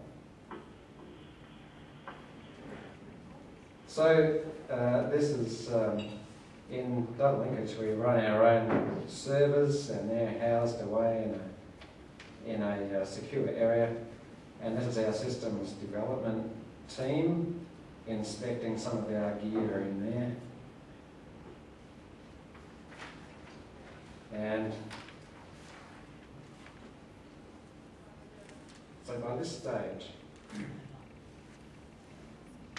the astute listener should be wondering about security and ethical issues of doing all this. If data from so many sources and for everyone in WA can be used in research projects, that means all kinds of people could be poking around in our personal information, right? Well, my personal information is in there and has been used in various projects, so why am I not alarmed about this? I'm paid to tell you I'm not alarmed, right? so it turns out we haven't just taken a reckless leap of faith with this data. I'll describe the strategies employed uh, which can allow you to breathe easy. Incidentally, don't follow this bloke's example and go leaping off uh, cliffs like this. You could end up spending the rest of your life in a wheelchair. But, uh, it would seem that that's not enough to um, deter some people. Now, uh, what is coming up in the rest of my presentation uh, is a discussion about features of the way that we operate uh, to explain um, how we protect, protect data, but I'm sort of vaguely aware that we didn't have a lot of time, so I want to check, Peter, should I, I've got maybe 10 minutes to go. Can I continue? Five minutes? I'll run through a little bit of this, um, and if we need to stop, just, uh, just stop it if it's okay. So, anyway, on to the story. So a number of strategies are employed to protect personal information. Uh, physical security, and uh, you can see in the image here uh, that we have to swipe to get into the secure floor that we're located on in the Department of Health. And so everyone has to sort of swipe around the place, but other people in health can't get into our floor. We like to try and uh, stop Epi getting, getting in there. And um, so we have physical security of the floor. Our servers that we saw in the previous image are in a restricted area and they're fully backed up to a secure off-site storage facility. Uh, and oh yeah, and uh, when so when uh, people come onto the floor, their movements are, are logged as well. So Link is handling the demographic data in a separate walled-off area. Um, and one first has to get into the, the server, and one first has to get into the secure floor before being able to proceed into the server room. And yeah, so, so physical security. We also have uh, various um, system features such as uh, um, links passed on to the researchers are encrypted using project-specific encryption. Uh, and so that can't be merged to other people's projects. And not all of the links in the tables area which the linkers are using are available to all linkers. They just have access to the particular records that they need to see to do their bit of the, the linkage. The data is also only available to authorised researchers with eth ethically approved projects. Uh, and I may have a moment to tell you a little bit more about that in a tick. I'm just sort of pulling the eyes out of this as we go. Um, so what I want to tell you about though is the separation principle. Now this is a concept that guides how we operate, our organisational structure, our physical location and our expectations of people wishing to use linked data. The separation principle is an approach to minimising exposure of potentially identifying information.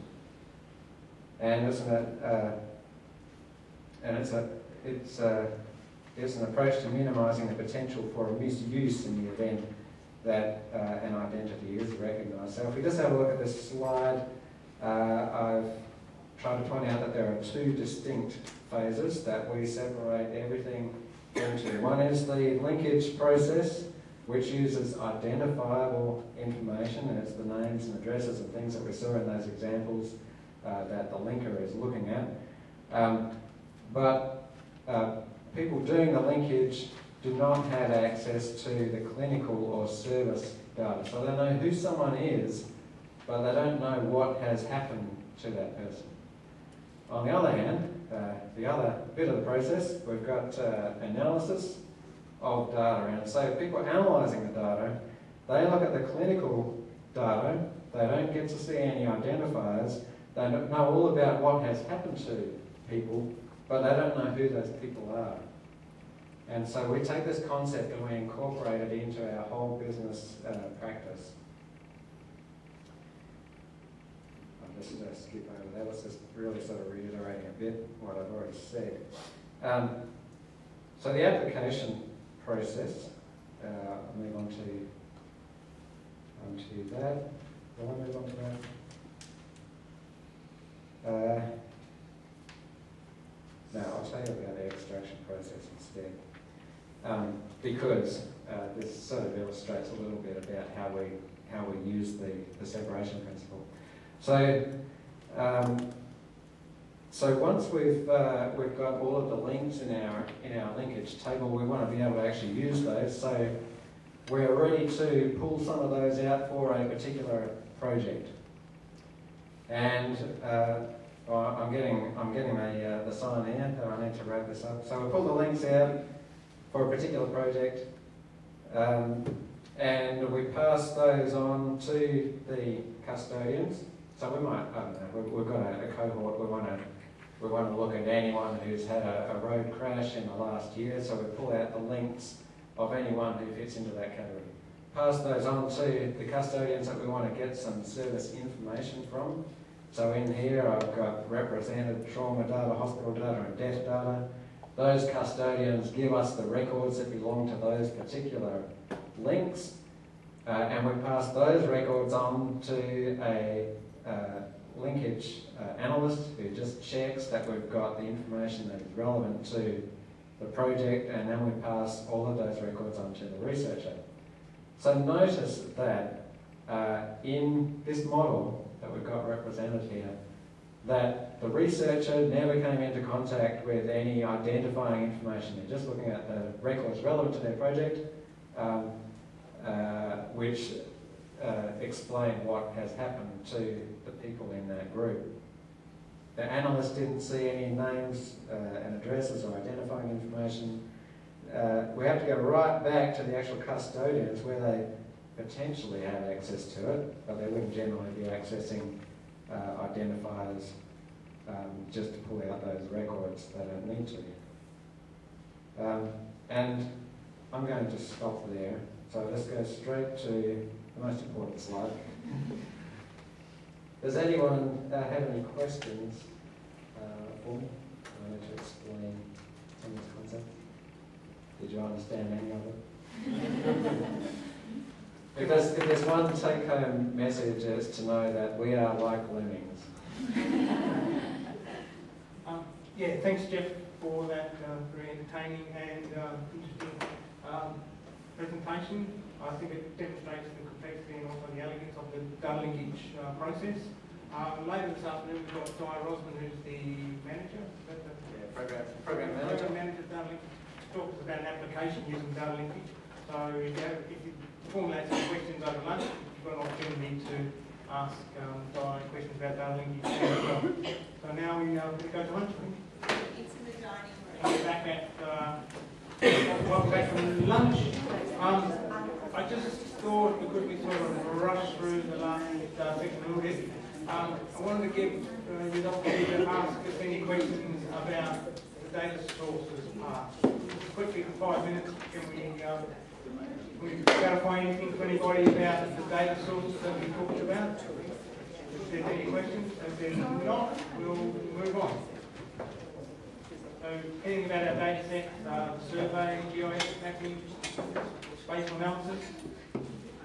All happy? Okay. Well, the, the, um, the afternoon session is, is all about um, interpretation of data. So we're um, going to hear about our um, Health Tracks application and use that to demonstrate epidemiological measures that we can provide you to use in your work. And then we're going to give you some um, data from our exercise for you to interpret and see if you can understand um, the types of things that we can provide for you. So um, we've got Alex uh, to talk to us about um, our Health Tracks application and interpretation of data. Thank you, Peter. Can you hear me? Yes. Okay, thank you. Yeah, so uh, uh, I'm going to talk about the presentation and the interpretation of epidemiological measures. And uh, of course, firstly, I will introduce a main online application, online reporting uh, application to you. So basically, this online uh, application is called Health Tracks Reporting Application. It is a health department intranet online application. Currently, it is available to anybody working within the public health system. if you are working outside of the public health system, you can still uh, can uh, ask or request data from us, and we can extract information from this application and send it to you. So basically, uh, once you once you get into the system, and you can enter uh, your uh, normal HE number.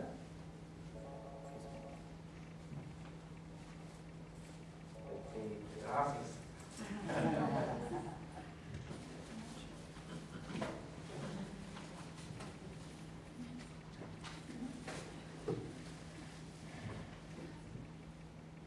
That's better. Yeah, once you enter your HE number and, uh, and then you enter your password, this password can be different from your normal password. So sometimes we, uh, uh, we get a phone call from people to say, oh, I forgot my password, that's fine. Send an email to us to uh, epi at health.wa.gov.au and then we will uh, sort that for you so you can uh, regain your access. And if you are first uh, time user, you have to uh, uh, register. Basically, the registration process is very simple. Just provide us uh, your name, uh, where you work, and uh, your contact details, and then immediately, within seconds, you'll get full access to these two.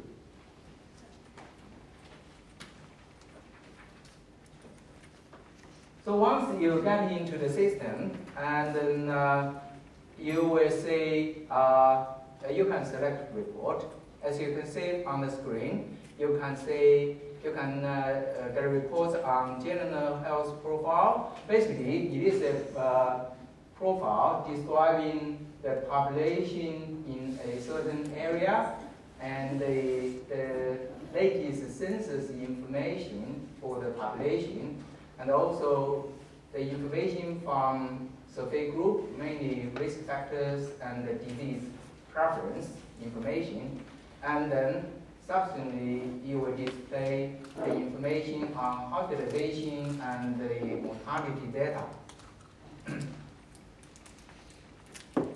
Um, some other reports include health topic overview, health condition overview, so both of them just show you uh, what happened if, if you check the major categories, uh, major, the meeting ID. major categories, like um, uh, if you are interested in circulatory disease, it will show you all the uh, subcategory categories and rank them to, say, to show you which one is the most important condition in your area, and, and then show you some other active measures I'm going to show you later on. And of course, uh, the leading health condition report will show you top 15 conditions we ranked uh, in descending order and show you what is the most important uh, condition in your area, what is the least important condition in your area.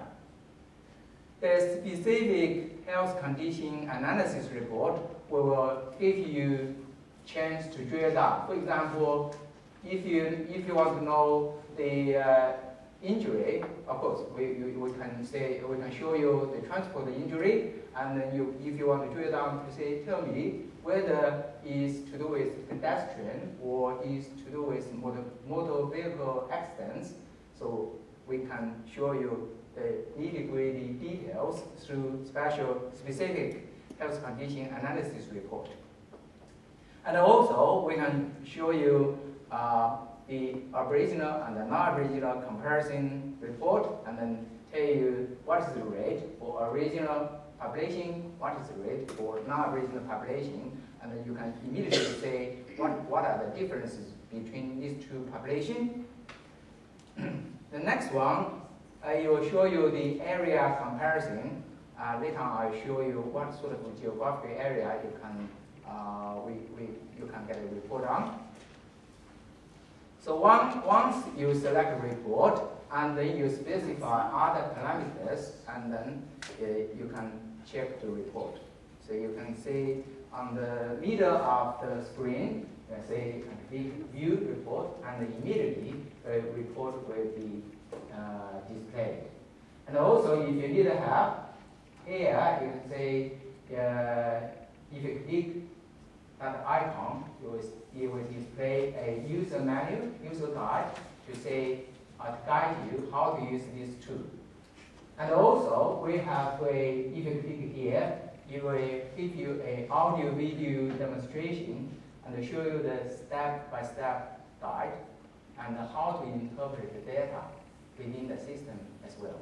Very handy tool.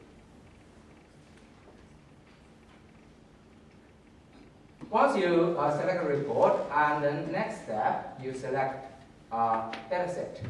I highlight, I highlighted here 11 datasets that are related to injury and poisoning statistics and epi measures.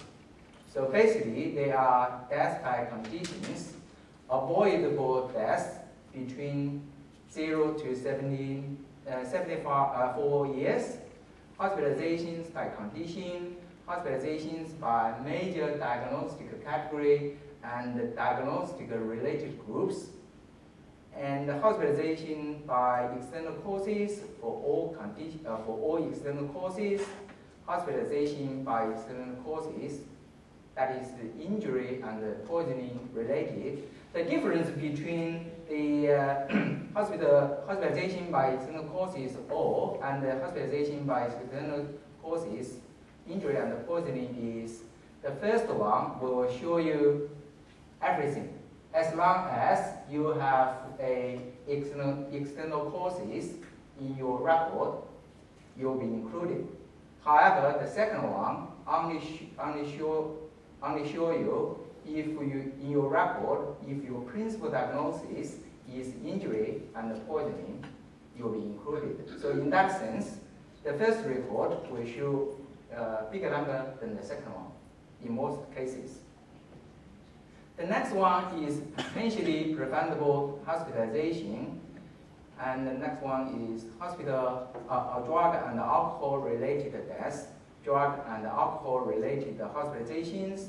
Also, we can show you ED attendances, ED attendances by triage categories. As you know, the triage category, we altogether we have five uh, triage categories dependent upon emergency or uh, uh, basically, there are five categories.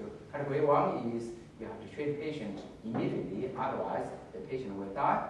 And the category five is sort of Uh, you go to the ED department just for a prescription or a brief consultation. It's not life-threatening at all. Yeah, so basically there are five categories. We can show you data breakdown in such manner as well. This table gives you a little bit more details. So this one shows you injury and poisoning related data sets and their contents in health track reporting.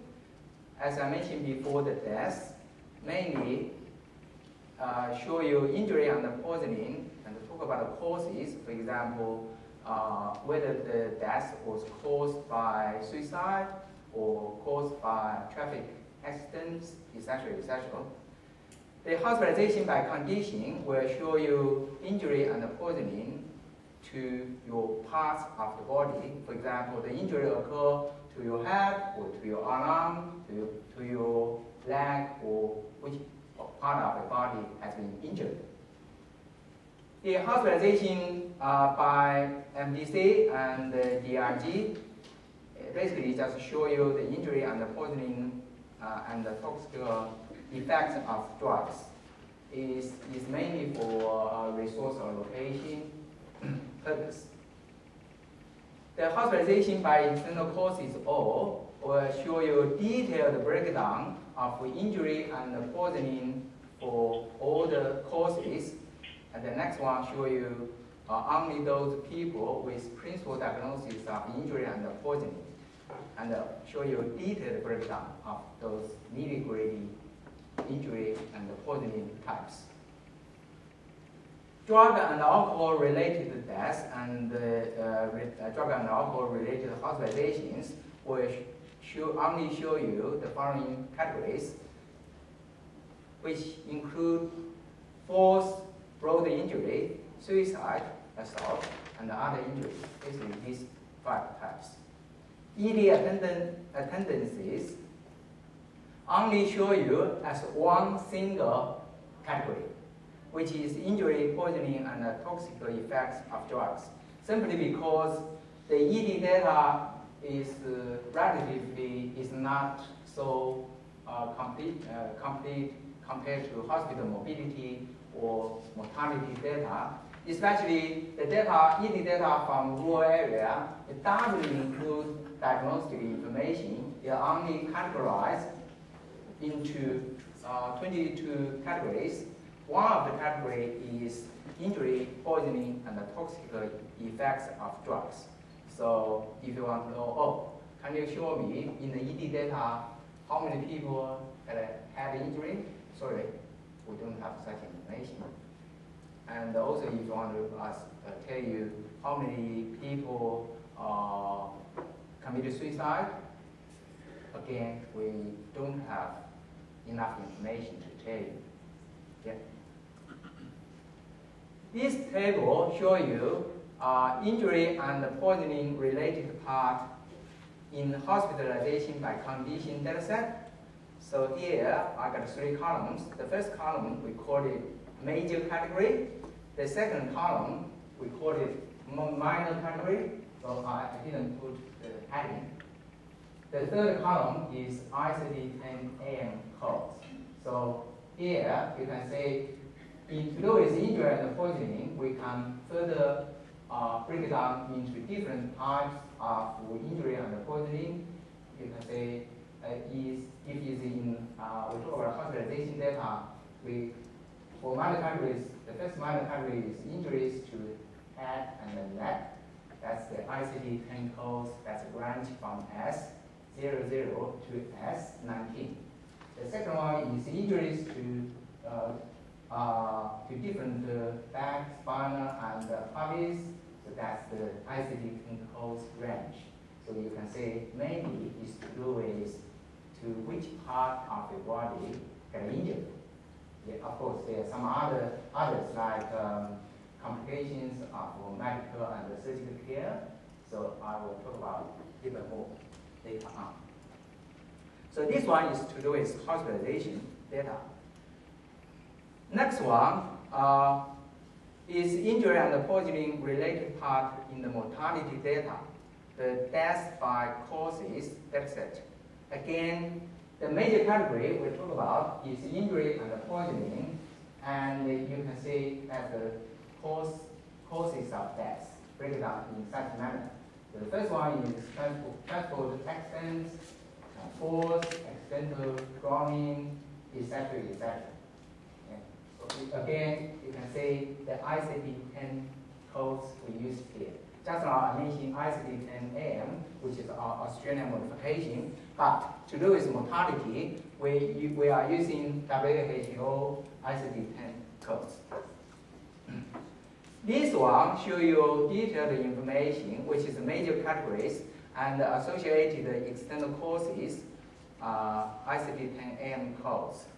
So you can see altogether there are 23 major categories. And this one uh, gives you a further breakdown from major category to minor category. For example, if we talk about the transport accidents, and you can you can ask, oh, tell me, out of those people, how many people get a pedestrian injured in the transport accident, and how many people uh, was involved in a motor uh, or uh, motorcycle accident. So I can provide such detailed information to you.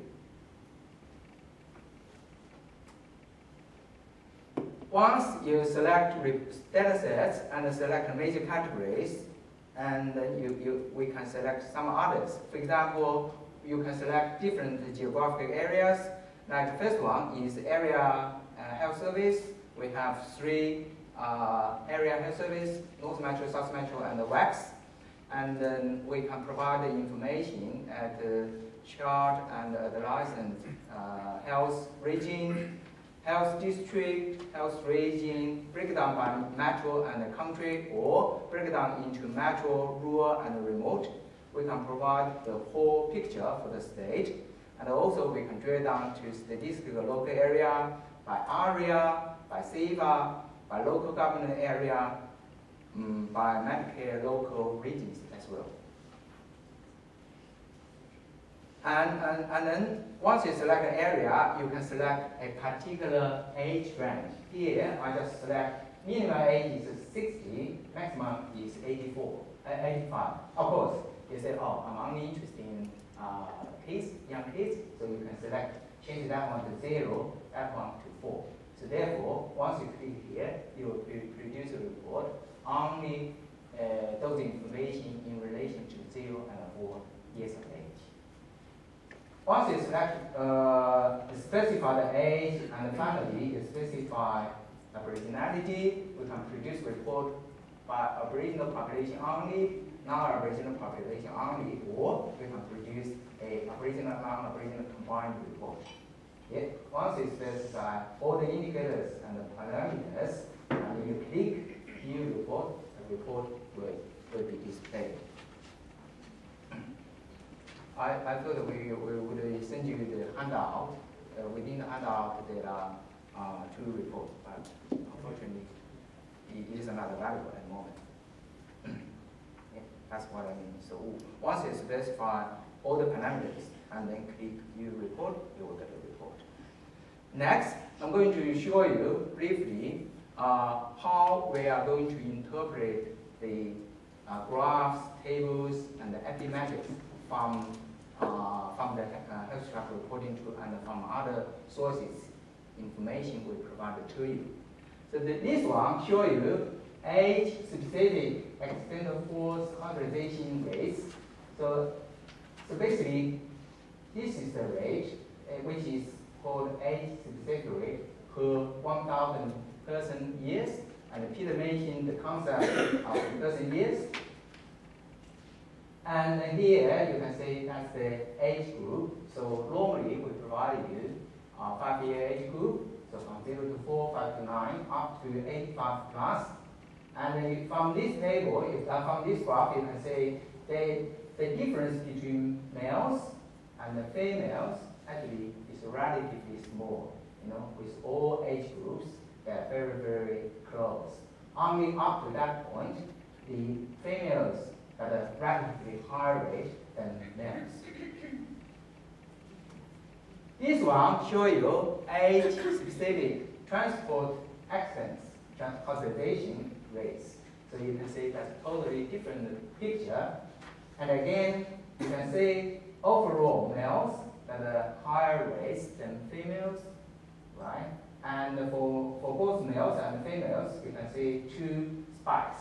One is here, another one is, is over there. So that means between age, probably I would say between 10 to 14 to roughly 30 to 34, there's one peak for both male and female, and after 70 or 74, the rates going up again. So next, I, uh, I'm talking about the difference between crude rates and the age standardized rate. So the first picture show you the crude rate. Basically, as Peter mentioned, crude rate simply is the number of hospitalization divided by the total population within a year, right? So you can see there is a sort of difference between males and females, right? Females got a relatively high rates than males. However, once we apply age standardization, you can see the difference between male and female actually becomes smaller, not that big. Simply because once we apply the standardization, we apply the age-specific rates of a population to Australia 2001 standard population for both male and female. And we are using the Australia standard population as a golden standard. And then at that moment, male and female are sort of comparable. Here is not so comparable. So therefore, when we provide information to you, always we provide ASR, age standardized rates to you. And also, on top of this, because this, we got the yearly data, normally we provide you a trend analysis, and we use Poisson regression to examine the trend of change in rates. In this case, the, the change in ASR over years. There are three types of trend. Significantly increasing trend, you're going up. Significantly decreasing trend, we're going down dramatically. And after something in the middle, for example, whether it's quite a stable uh, change over time or there's a fluctuation over time. So basically three types. And if it's a significant trend, you will have a p-value less than 0.05, and also we provide you with an average annual percentage change uh, as well. Next, I'm, I'm talking about a very important concept or the data we provide to you, which is standardized rate ratio. And as Peter mentioned, standardized rate ratio is the ratio of observed events, for example, number of hospitalizations divided by expected number of hospitalizations. so in, in this graph, basically it show you compared to the state uh, state rate among males, country region residents, whether it's significantly higher than state rate, lower than the state rate, or similar to the state rate, we, we use three colors. If it's red color, so that means this condition is significantly, the rate for this condition is significantly higher than the state rate. If it's blue color, that means the rate for this condition among male is significantly lower than the state. Otherwise, if it's gray, this one, this one, and that one, that means the rates for this area in the country area is similar to the state. So you can say which one is significantly higher, which one is significantly lower. So therefore, you are able to identify the most important condition you have to address in your uh, innovation program or in your planning. And also another another important one, I you have to say there's a line there which is equal to a value of one. Here, not only we provide a standardized ratio in this case, is to do with supplementary factors related to cause of morbidity and mortality classified as well. For this condition, not only we provide a SRR, which is standardized uh, ratio value, which is a point estimate, but also we give you a range estimate. So that means with I'm 95% confident the standardized ratio in relation to this condition compared to uh, uh, country, compared to the state, will falling between this point to that point. So roughly, we're falling between 1.5 to uh, 7. In another word, this in country area for this condition, the rate is roughly 3.5 times higher than the state rate. Within the range, the range will start from 1.5 times to nearly 6.5 times higher than the state rate. Very important. Point estimation and also range estimation give you sort of confidence. Yeah. This one is for female. Definitely you can see a different picture. From here, there's no blue color, so therefore all the conditions, the, the rates are not uh, not significantly lower than state. Yeah. So and also all the red one will be significantly higher and state rates.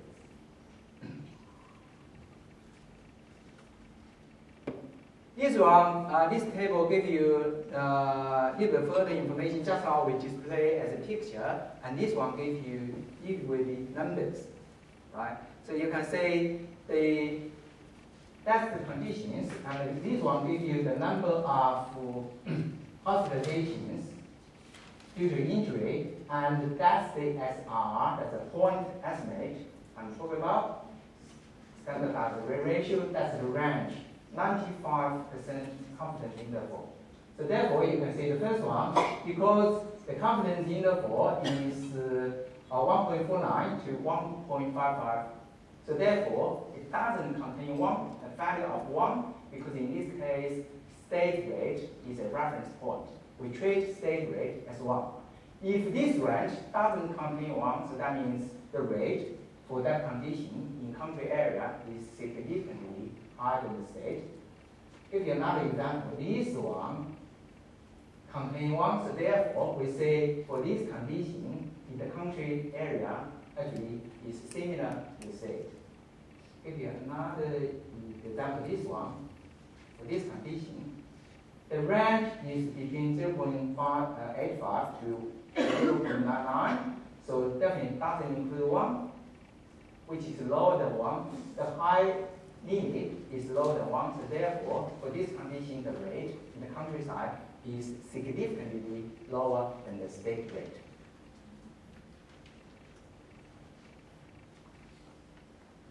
This one just try to show you the uh, number and the rate of accidental hospitalizations in the state. The main point I want to show you is the comparison between male and female. If we talk about the same year, 2007 compared to 2007, the rate, that's the number, and of course, you see the number for male is actually lower than female. The age standardized rate is lower than female as well. Right here, show you 95% confidence interval. For 2007, the uh, interval from 487.7 to 515.84. For female, the range is 508 to 535. So you can see these two ranges are they overlap? Are they overlapping? Just. If they are overlapping, so that means there's no significant difference. Yeah.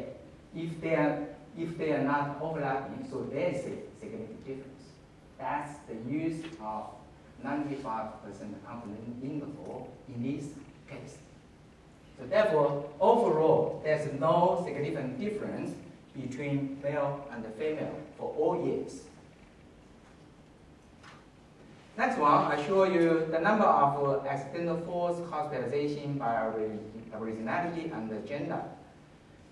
So this one just show you numbers. As you can see, we got a bigger, much bigger population, non-Aboriginal population than Aboriginal population. Aboriginal population is only about 3% of the whole uh, state population. So definitely, if you check the numbers, definitely this number is very, very small. So the numbers is important to give you the uh, magnitude of the problem, of the issue. So definitely, you can say there's a difference between male and female and also between original and non-original. The number is important, but most important one is the rates. We always talk about rates in the rating, not just numbers. So this one show you percentage of accidental for hospitalization by age and gender. Just show you the age distribution between male and female. As you can see, for female, the, this proportion is the biggest. So mainly the accidental force occur among female, mainly occur uh, for those old people. However, for male, mainly it's, although it's still the proportion is still big, but it's sort of evenly distributed among different age groups.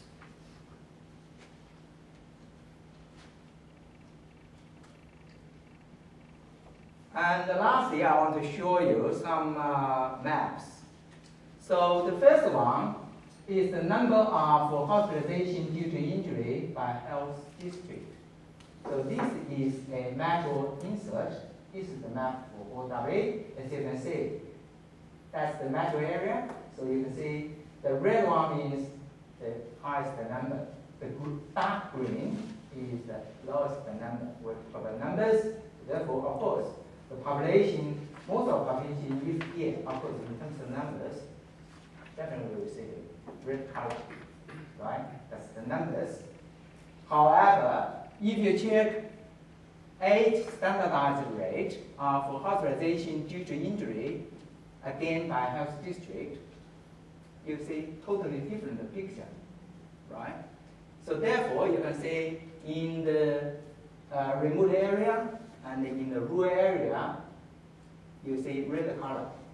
That, that's, the where, that's the area with a very, very high rate compared to metro area.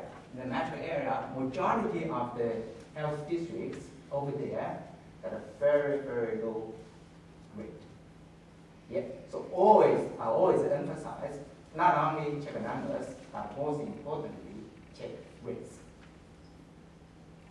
because rate is a measure uh, which indicate the severity of the problem or the impact of the, of the issue.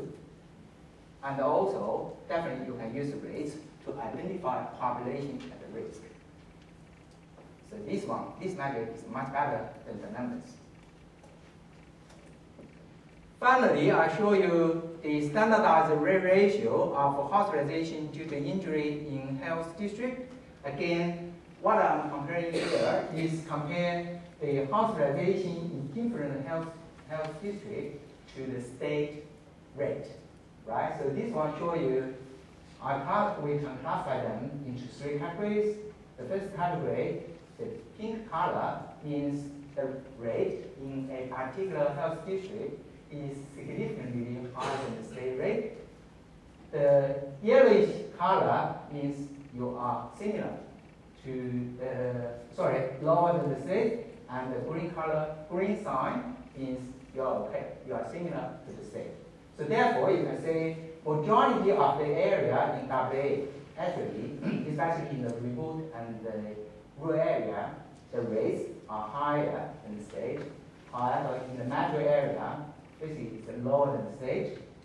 There are only one or two uh, health districts that are actually similar to the state. So that's sort of a comparison we want to show you. So the K is always focused on the rate, and always use eight standardized rate for comparison. Also, if you want to compare this to the state, always use stand, uh, SRR, which is standardized mortality ratio. Yeah. yeah. Any questions? You questions. We'll take, council, take some questions, if you have any questions about anything he said. Um, I don't think you need to be too alarmed if you don't work in the health department, you can't actually access the application that he presented at the start. Uh, because uh, any of the requests for uh, information you would want from us would first of all be screened to see if it goes through that application, which means that you'll get a lot quicker turnaround than if you, uh, had to do that manually. So the, uh, the instigation of this application means that the quicker turnaround for your request if you're external Um, there has been precedent set when um, there's a major piece of work that needs to be done by a non-government organisation that we can arrange for somebody to come into the EPI branch and actually access the application under our supervision um, and um, only take away information that we allow you to take away. Um, that's, that's been done successfully in the past and we're quite happy to negotiate with you about that if you feel like you can, you can manage that. Um, so is there any questions? Um, are there any limits on how you can use the data? Can you publish and As long, and yeah, as long as we've um, screened it, we've uh, agreed that it's uh, okay to go out to the public, yeah, you can use it. Any- Simply because over time, we, sometimes we identify some issues with the data in the tool. So it's better, you can, you can have the data, but send back whatever you put together for- us, and we have a quick review. So if there's no issue, uh, yes, you can use it. And uh, of course, another one is if you are working in the health department, you will not be able to access the statistics at the local area level.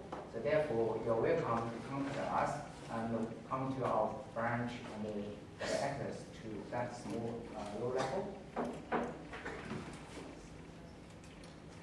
Okay, if there's no more questions, we'll uh, move on to the next part of the day. Um, So for our final session, we've got some uh, really uh, interesting speakers, and we're really lucky to have them offering their time to come along. So we're going to look at uh, alternative data sources, um, uh, ways those data sources are used, and then we'll wrap up with um, where we're headed with, uh, I guess, in the health promotion, the health promotion.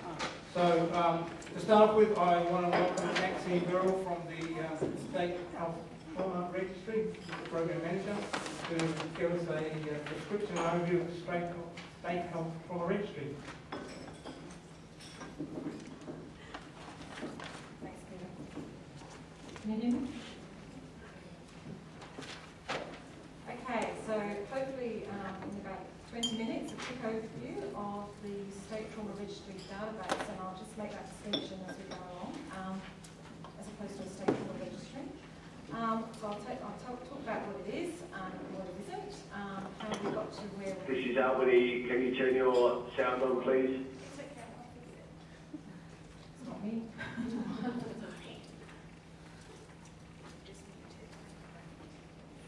can you hear us now? Can you hear me now?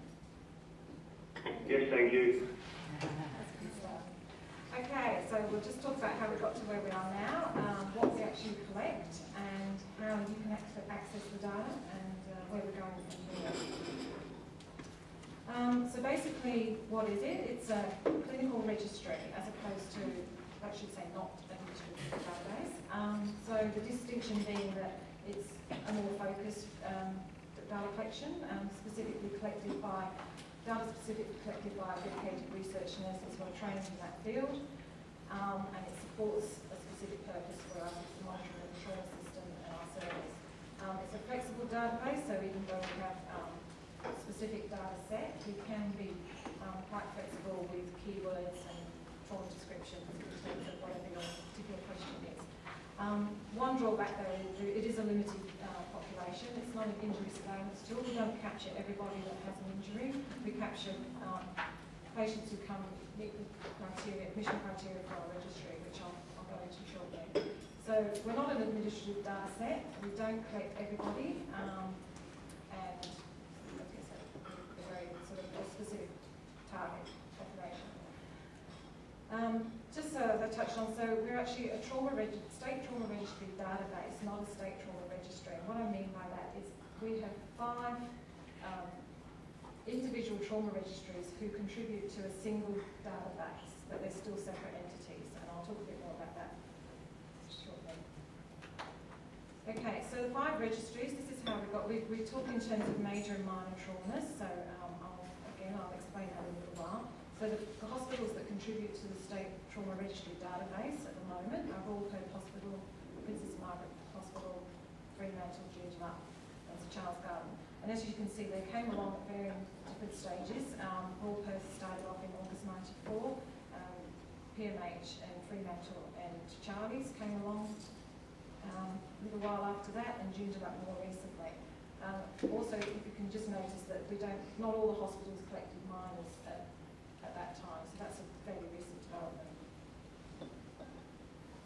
Um, the other issue is that we previously, until um, January 2011, we all worked out of separate databases. We had a Microsoft Access database at each hospital. We all collected the same data, um, same data collection principles, but we were all separate. So in 2011, we all combined into the single um, database that we now call the State Trauma Registry database. So it's an SQL database. Um, it's web-based, which means we have multi-site access. So those are the registries that talked about at the moment that are contributing. The little um, red Darwin at the bottom, just to show the flexibility of the database, we can add sites on um, as we go, as we as we develop further. And what we're looking at at the moment is capturing data from the subset of patients who have their traumas up in the Kimberley who may get transferred to Darwin um, as opposed to coming down to Perth. Um, so we feel that we need to have some information on those patients because they're still WA patients after all and we think that they should be captured in our data set. So we're currently going through a process of adding those, those patients to our database. So who collects the data? So we have dedicated level two nurses, mostly, um, and one research officer. So they're all trained, um, various clinical backgrounds which are relevant to trauma, as you can see. So intensive care, ED, burns, trauma. Have one, one nurse who's a clinical trials expert, so she's quite handy for writing proposals, and a health science graduate. So all these staff are trained centrally wherever possible. Um, we have a uniform um, manual that we all work out of, and we're all trained in abbreviated injury scale scoring, which I'll talk about shortly. So it's a mandatory training, um, it's an internationally accredited score. This is how we score our injuries, um, and we have to be renewed every three years. So what do we collect? As I said, it's a limited um, population. It's a targeted population, so it's patients who have a significant injury. They have to be admitted to hospital for more than 24 hours. They have to have had their trauma within the last seven days. So the reason being, we, we feel as, as, as monitoring a service that we can't really make a lot of difference to a patient's outcome we haven't had them, if they had their trauma three weeks ago, nothing we do is going to make much difference. So that's our cut-off. Um, so as I said, more than 24 hours, apart from patients that die. So a patient who reaches hospital and dies in the ED, um, we'll, we'll collect those regardless of length of stay. So we don't collect all present, presentations to the emergency department. So if they don't get admitted or if they get, get admitted and go home less than 24 hours, we don't collect them except for deaths. We don't collect deaths that happen at the scene of the trauma. So patients who don't get to hospital, we don't collect. And we don't collect patients who don't come to the Perth registry hospitals that are listed there. So what do we collect? So what is a trauma? So trauma is defined as an injury or a wound resulting from an external force. So there's two components there. So you have to have a mechanism, you have to have a cause of trauma, and you have to have an injury to become a trauma patient on the database. So I just put a couple of scenarios up there, so just to clarify that. So the patient having a motor vehicle accident and has a fractured femur a ruptured spleen, that's quite straightforward. He's had a mechanism, and he's got an injury, so we'll. The same patient has a motor vehicle accident but doesn't have any injuries but is admitted for chest pain, we won't collect it. He's, he's got a mechanism but he doesn't have an injury. The elderly patient with osteoporosis who rolls over in the bed and gets a fractured neck of femur, there's no trauma mechanism, so it's a pathological fracture, so we don't collect it. If that same patient tripped over the mat in the lounge, she's had a trauma mechanism and has got an injury, so we collect it. So we talk about major and minor traumas. So what we mean there is patients who've got an ISS, which I'll talk about greater than 15. So that's a major trauma. So injury severity score greater than 15. So for these patients, we collect an extensive data set. So everything that happens from the time of injury right through to discharge, death, rehab, wherever they may end up. So we collect a whole range of data on those. For the minor trauma admissions, we only collect a limited data set. But we have a record of. So how do we calculate an injury severity score? so we have uh, abbreviated, abbreviated injury scale, which is an inju- in, individual injury code that we apply to each individual injury. And there's a score assigned to that. So from one to six, um, with one being the least serious, minor, through to six, which is usually a fatal injury. So anyone who gets, so we have that score, and the, the injury severity is best described as the sum of the squares of the highest AIS code in each of the three most severely injured regions. So if I just explain that a little bit better. Um, we have body regions, one to six. And then in order to calculate an injury severity score, we take the worst injury score. So in this case, we've got a grade four liver laceration and the score is four. So if we square that score, we get a 16. Um, but basic skull fracture, in this case, the injury score is three. And for that injury, we get a nine. And for the lung contusions, we get a four. Now, they're from three separate body regions, so we can count all of those. And we get a total of 41. So this patient's a critical patient. So just going back to the registry, uh, we're aligned to the WA Health um, data quality policy, so it means that we comply with these quality domains. And the way we do that is um, quarterly, regular quarterly and ad hoc data quality checks. So that's done. We've now just appointed a data manager for the State Trauma Registry database and we're able to run all those QI um, checks centrally. So um, that's uh, a really good, because previously we only had control over raw perks. So that's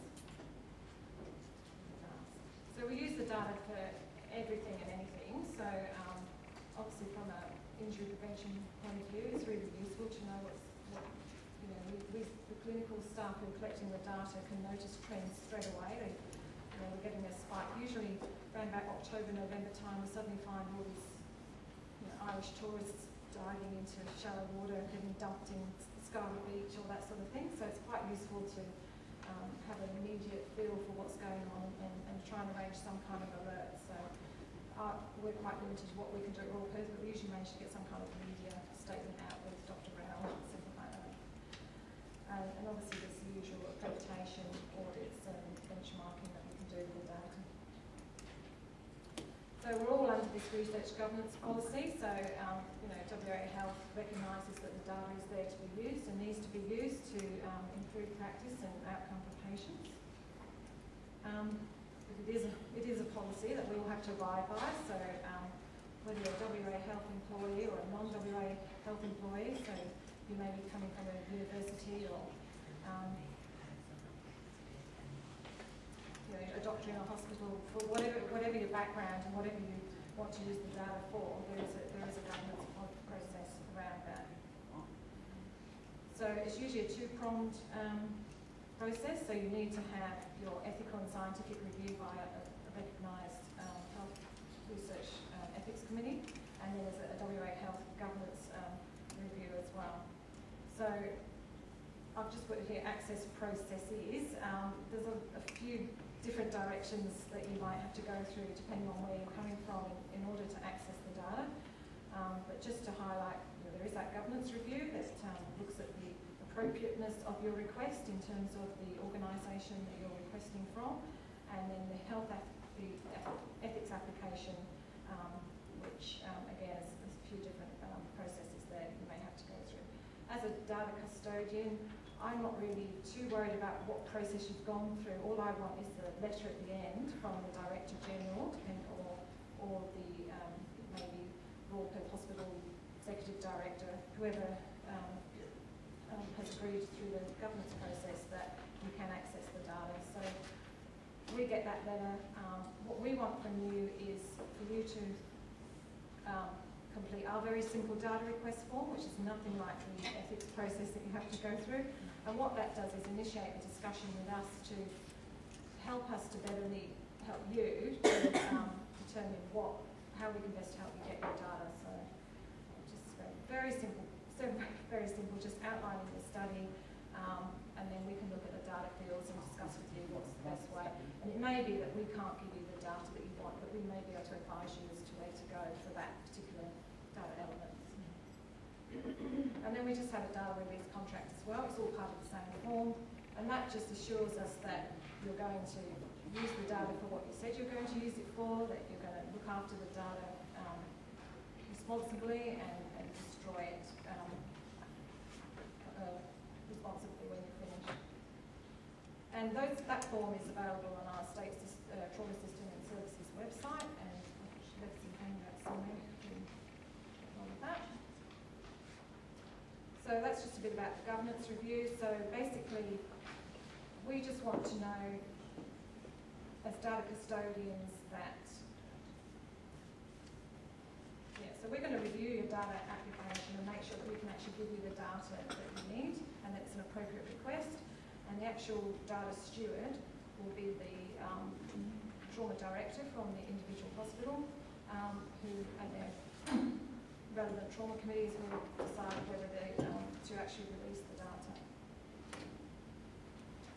So that's just a bit there that talks about the, the roles of the Director General is generally the, the over, oversight for um, huge data collections such as data linkage projects. Um, data stewards are the ones that actually um, can authorise the release of the data and the data custodians are responsible for the actual development, development and data collection and maintenance and making sure everything is done properly and, and according to standards. So the reason we're so iffy about all of this is um, our patients don't give consent. They do not give individual consent to participate in your study. So patients who turn up to public hospitals, uh, it's implicit consent. They're on the system and we get our data from the system. Um, so they're not going to sign a consent form for your study. So we have a duty of care to make sure that we disclose that data that we've collected on them very responsibly and make sure everything's as accurate as possible. So this is just a few data elements that we do collect. So the, the um, elements in red are the more detailed elements that we collect for our major traumas. So we have um, obviously all the demographics and around the individual patients and a little bit more about some uh, past medical history, comorbid use, um, alcohol and drinking habits. Um, the actual trauma details, so we've, we've got a, a lot more detail for everybody on the actual um, incident. We can talk about the pre-hospital phase, so how they got here, how long they spent at each hospital, and what actually happened at, at um, so it may be with the ambulance, it may be an IVS provider, it may be a country hospital. So we can, and for our uh, major traumas, we can put in all that um, physiological and um, clinical data. When they get to the uh, definitive hospital, so by that I mean the actual registry hospital that that patient has ended up at, so their database, um, we can talk about what happens there in terms of this, the, the patient's condition on arrival and what measures we took in that sort of first were in the emergency department. And then we've got a few more um, clinical information that we collect for the first 24 hours of their hospital admission. So um, all of this is up to that phase for major traumas and operations and complications um, right through to discharge. Um, for all traumas, we obviously collect their discharge type, so where they where they went to from ei- either state rehab, home, death, or hospital transfer. We don't collect, we don't follow patients up post post discharge. Of course, we give you the injuries. So we have an injury description, which is as detailed as we can make it, so that um, it's, it's usually that's used for validation purposes as well against our scores, our injury scores. So we have an ind- individual abbreviated injury scale score against each injury, so that's how we get the severity of injury for each one. Then we calculate the injury severity score, as I briefly confused you about. We've got a new injury severity score as well, which um, is just another way of um, a different type um, ISS, which I won't go into now. Um, for our major traumas, we can give you a physiological score, on, and that can be done at the time of injury as well as um, their status on arrival to the definitive hospital, so you can see if there's been any change in their physiological condition. And out of that, we can calculate a, a score which is our TRISS analysis, which is our trauma and injury survival, injury severity score, which um, gives us a probability of survival. So that, that can be done at the time of injury and on arrival. So again, you can see if they've deteriorated or improved um, en route, which is quite important for a lot of our trauma patients coming from country regional areas can take up to 12, 13 hours more sometimes to get here. So it's quite important to see if there's been any change in their condition. Just some quick sample uh, data that we, this is the sort of stuff we put in our annual report. So demographics, simple demographics that shows where we can target our um, injury prevention strategies, such as parties. So for this one, you can see that 15 to 24 year old males are big, big problem for us. um, cause of trauma, so um, I'm not sure how clear that is on there, but um, if you look at, we've got motor vehicle accidents, motorbike accidents, pedestrians, pedal cyclists, and pretty much makes up half of that pie chart. So road trauma is a significant issue as well, and falls is the second most common uh, category for our major traumas. We can talk about um, safety devices in this graph, we're just um, seatbelt use. So this actually looks pretty good. Um, seatbelt compliance until you get to the back seat passengers, so that's that's a, a big, big problem in terms of um, seatbelt compliance. So again, it helps us to know where to target any messages, whether they get through or not. Um, and then also use the data to monitor our service. So this is looking at time spent in the emergency department, which is um, probably not looking very good. And where, where to um, send our resources. So, um, you know, where, which specialty is looking after our trauma patients and are they under the right specialty? That's something that we just keep an eye on. And of course, outcome monitoring. This is just looking at um, cause of death and most, call, most common cause of death for our traumas is a major traumas and head injury, which is probably not surprising. And just where are we going from here? So I said I'd be very quick. So we've, we've had about two years um, collaboration with our national counterparts to um, set up a program called the Australasian Trauma Quality Improvement Program. So the first part of this is setting up a national trauma registry. So we've spent about the last two years making sure that our, our data elements and interpretation aligns with the um, national database. So that's all going really well and, and is under construction as we speak. So that's very imminent. Um, there are 26 major, the, 26 Australian major trauma centres are going to be contributing to that initially. Um, down the track, I guess, they'll start looking at minor trauma, but at the moment it's just major trauma. Um, and then a spin-off from that is the National Quality Improvement Program. So we're currently developing key performance indicators that we can all be measuring so that we can all benchmark with each other.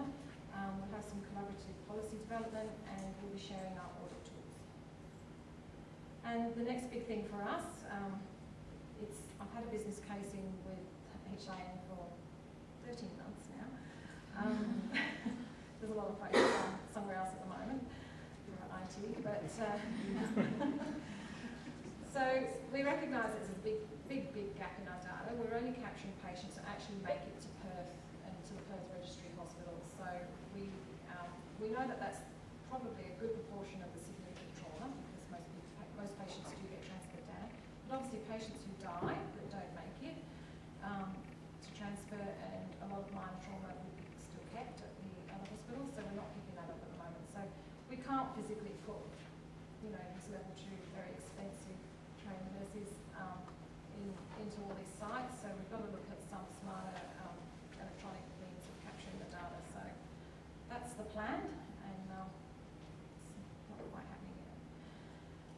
in summary, um, any identified data that you would like for research, um, unfortunately will need um, ethics review. Um, we can help you a lot with that, so um, feel free to um, open up that discussion.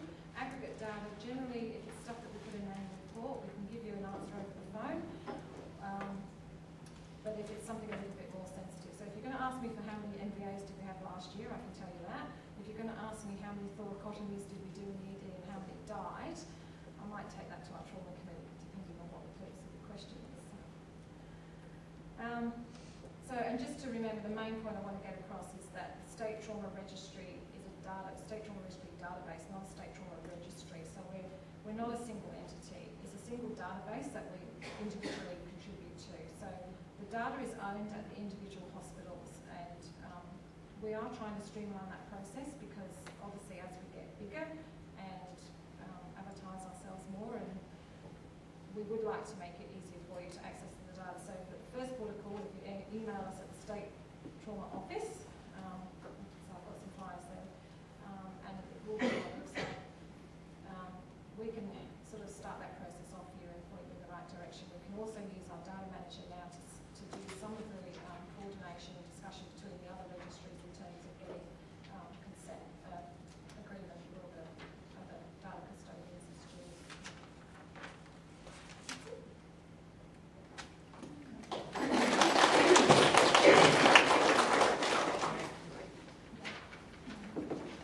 Someone's already firing the questions, so away you go.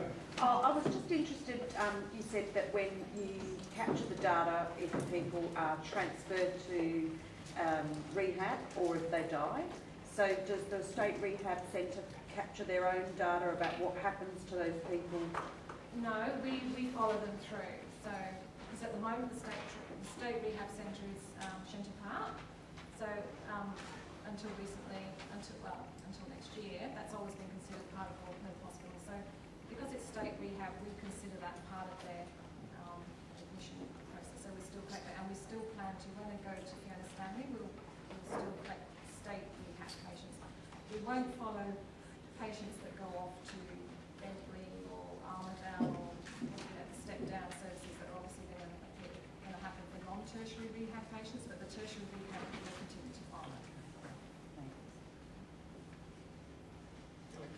Is, is there, uh, uh, that, uh, for example, uh, postcode uh, or suburb or Yep. other information? Yeah, we collect, um, so in our demographics, we have the patient's um, address and postcode, so if we want to get some socio-economic information like that. But in terms of their trauma, where, where we've got that documented, we'll, we'll put the postcode. So that's their place of residence, not where We the... collect both. Both? Both. Right. Thanks, Maxine. I certainly can um, sympathise with you with dealing with HIN. So live with it at the moment. Thanks, I heard you had to go. I do. Fairly Sorry. So can I just present you these, these presents? Thank you so much. Thank you.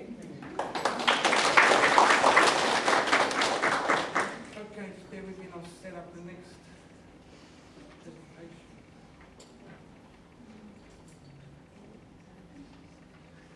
Okay. Um, Now we've got our second presenter from data linkage branch. We're going to hear um, how data linkage is put into practice and in relation to trauma. So we've got um, Diana Rosman, who's the program manager from data linkage, to present to us about a uh, particular piece of research that she's done. And um, I warned her that you might want to ask questions about overall data linkage at the end, so she's prepared for that too.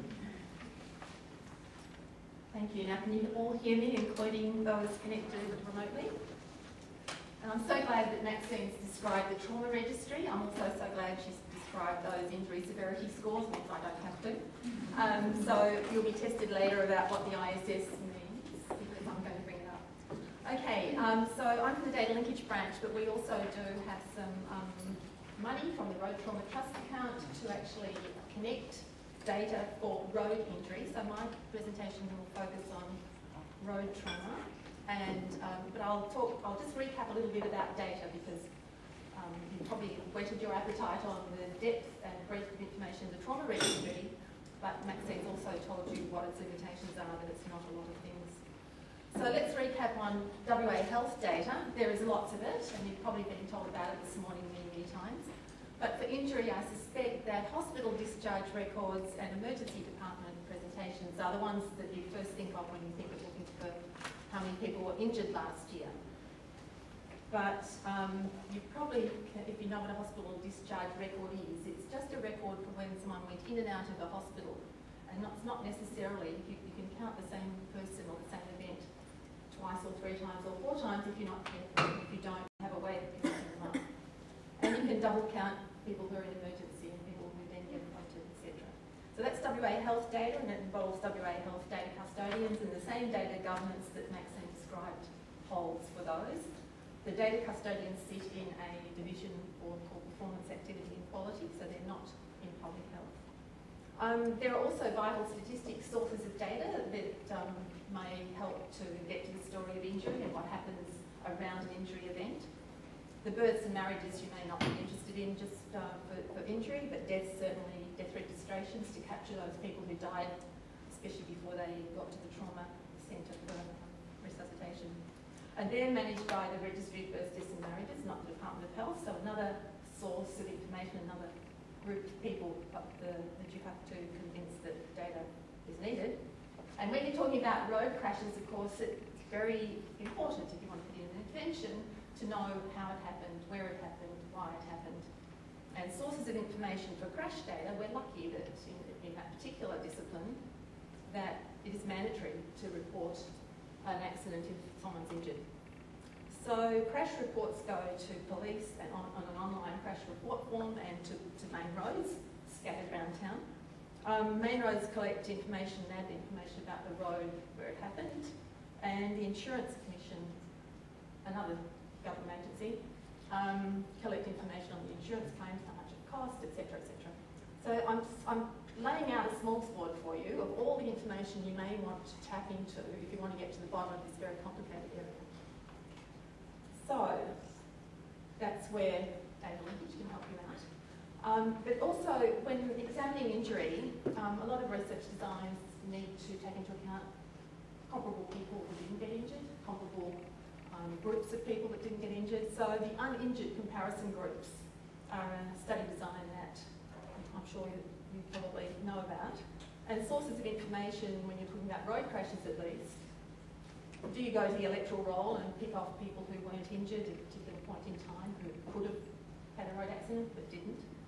Do you go to the licensed driver's source of information to see who was driving around potentially but who didn't crash? And do you look at birth cohorts for the kids walking around on the street um, haven't yet got their driver's license or aren't able to vote yet? And again, another three departments, another three government agencies to deal with. And welcome to my life. Um, so this is where data linkage comes in, and I, I think Jeff gave you this definition, I, I like this one. It's a technique, so it's a computer system, it's a nerdy way thing to do, but um, it's a technique for creating links between bits of information that can come from almost anywhere, but they're thought to relate to the same person in the case of an injury, but in the case of an injury, we're also interested in the place and the actual event or the time, so you need to take that into account. so the same person can have multiple injuries, obviously, in their lifetime. And let's just look at person X a chain of events in their life, their book of life, if you like. Um, starts with the birth, and then they get educated, and then they get on an electoral roll, and then they get married, and maybe they had a crash before that. Crash generates several pieces of information all at once. Trauma registry, crash report, hospital report, insurance claim all at once. And then later in life, mental illness, hospital and death. It was very sad. But the the book of life, if you like, everyone's got one. And in WA, we're really, really lucky that a lot of these administrative records uh, have been collected for a long time, since 1970, you know, back when I was even young. So um, data linkage is actually needed, even if you've only got hospital records, because how do you know how to thread those events together? The hospital discharge out to Armadale, the, the rehab um, part of the event, the emergency that happened before they got admitted, if you don't connect the information together.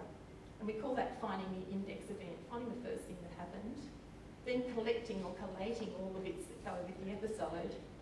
Then you estimate the long-term outcomes if you're really interested in the depth of it all. You've Got to keep collecting and linking data across years, and hopefully you can look at some of the cost information.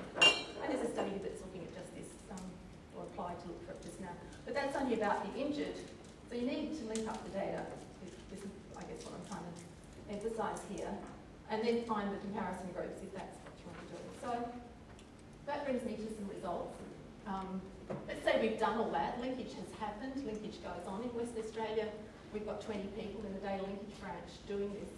Um, only six of them do linkage, but the rest in the other part of the um, infrastructure. But anyway, given that all that infrastructure is in place, what can you do with it? So uh, who knows about the injury pyramid? It's an ancient concept that I'm sure you've all seen this, where you um, have a pyramid to denote the different levels of severity of injury across the population for a period of time. So this is a piece of work we did a while ago. It's only it's from 95 to 2007. I think Laura's involved in this maybe. this will be familiar. So first of all, you need to sort out who died, who didn't survive. Get the 2,736 fatalities. Put them in the top of the pyramid. Then the next level down, you'll need linked data to do that, to make sure you don't count those deaths again, and just pick from the trauma registries. Now, we did have access to the trauma data in Royal Perth when we did this work. Um, so the people who are in the trauma register, it was serious, but they survived. So that's linkage, and that's pulling out some information. There's 4,894 of those, so about double the number who died. Then there's another group of people who went to hospital, made an insurance claim, so it was sort of serious, even though the trauma register didn't define it that way. And there's 21,000 of them, so you can see it getting broader and broader the, the lower the levels go in severity. And you can also have a stab at the bottom level, which is they went to hospital for an injury, but nothing else happened, so that couldn't have been too bad. So, so that's the injury pyramid, and um, we needed linked data to do that. So I'm going to tell you now where we got that data from. Essentially, the sources were the crash reports, the death register, the hospital admissions, the insurance claims, and the trauma registries, all linked together in order to get that pyramid you just saw. And you can build one of those too if you apply for the data. Um, now, at the moment, as I said, the data linkage branch is lucky to have a focus on road injury. We've been able to get some funding from the Road Trauma Trust account to do some projects. So we have an analysis team, a research group, as well as the linkage team. And we're focusing at the moment on injury severity scores. So for those um, injured uh, crash casualties who didn't get onto the trauma register, or who we, we need to be able to look at the injury severity of those in some way. I'll, I'll tell you how in a minute. Um, we're doing some work on crash and injury risk factors with the Office of Road Safety. We're looking at injured cyclists, that's a master's um, student, and the burden of injury is some work that's happening in um, chronic disease prevention. So, um, I just want to show you this, this table. Focus on it for a minute, I'm going to ask you some questions. Um, this is more recent, and it's just been done on Friday before one of our staff headed off to Brisbane to the road safety conference that's going on there at the minute. Um, so these are road crash casualties. There's some numbers on there that tell you the admissions, the number of admissions. So let's just look at 2006. So if you look at the hospital records, count all of the hospitals that had an injury or traffic. Now, I'll tell you what traffic means in a minute. That group, there were 4,004 of them. But when it dropped down to levels on the next, miss, miss the next row and take the red ones, there are actually 3,185 of those if you count episodes. So that's collating those things, those busy hospital ins and outs that were going on for individuals. So linked data can tell you it went from 4,004 to 3,185. Okay, so that's the number you should count, the red one, for the number of hospital episodes in 2006. And you can read along that line, it's kind of going up. 2007, 3418, 2008, 3659, right up to 2010, it's 3917. Now, um, that's the hospital people. Now, the next table underneath that is the people who died. But as Maxine alluded to, some people unfortunately die, do get to hospital first. So they, They are those ones in the red line at the top of the deaths, the ones who were admitted and then died. So you have to take them off the other red number before you add on the deaths, which is the bottom red number. So can you look down to 2006? You've got 3,185 in hospital, take away 36 and add 186. And you can say that in 2006 there was how many killed or seriously injured? Who's done it? Okay, it's it's 150, so it's 4,335, right? Am I right or wrong? My mental arithmetic Anyway, that's what you have to do, right? So you don't double count. You need linked data to do that. And you can see for the other years that it's around 200 people die each year on the roads, and it's been stable like that for years, years and years and years. So the rate is going down, but the number is stable. And it's around 3,500 who are hospitalised. Now, in those hospitalised ones, we haven't said who's serious and who isn't. So if we wanted to know who is serious and who isn't, how would you assess that? Now, before I came here, I was reading a report um, prepared by a European um, select committee of some kind that were proposing what serious injury should be defined as. And the only thing you can do internationally is really hospital stays greater than a day because a lot of other things you have to derive using lots of sources of data. But in WA, of course, we're well placed to look at some other things. So there's this measure called the ICISS. Now, who other than Laura knows what that is? Ever heard of the ICISS? Well, it's an, no, it's an, well, IC stands for the, the classification of disease. It's a diagnosis-based survival thing. So it's sort of a pseudo severity score, but it's it's based on the survivability or the survival risk ratio of particular diagnoses, injury diagnoses. And they've done a lot of work in New Zealand on this and set some thresholds that are sort of mirror the AIS level. So if you don't have an AIS, which is, you know what that is, don't you, because Maxine told you, and the ISS being greater than 15, it means it's major. So those things, we could use any of those if we wanted to sort out who was seriously injured. So here again is what the ICISS means. It's a diagnosis-based injury severity score. To get it, you select the cases that had a principal diagnosis of injury. So the main thing they were in hospital for is injury. You calculate the survival risk ratio for the injury diagnosis mentioned in that hospital record, and you multiply them all together, and you come up with a score. And you magically say, if 4% of the people or more die, it's serious. That's what the New Zealanders said. But it requires linked data to get these um, scores. Um, and so, I want to show you some other numbers. And um, this is road crash casualties again in WA. And again, it's, it's fairly old data because we haven't done this again. We're about to do it now.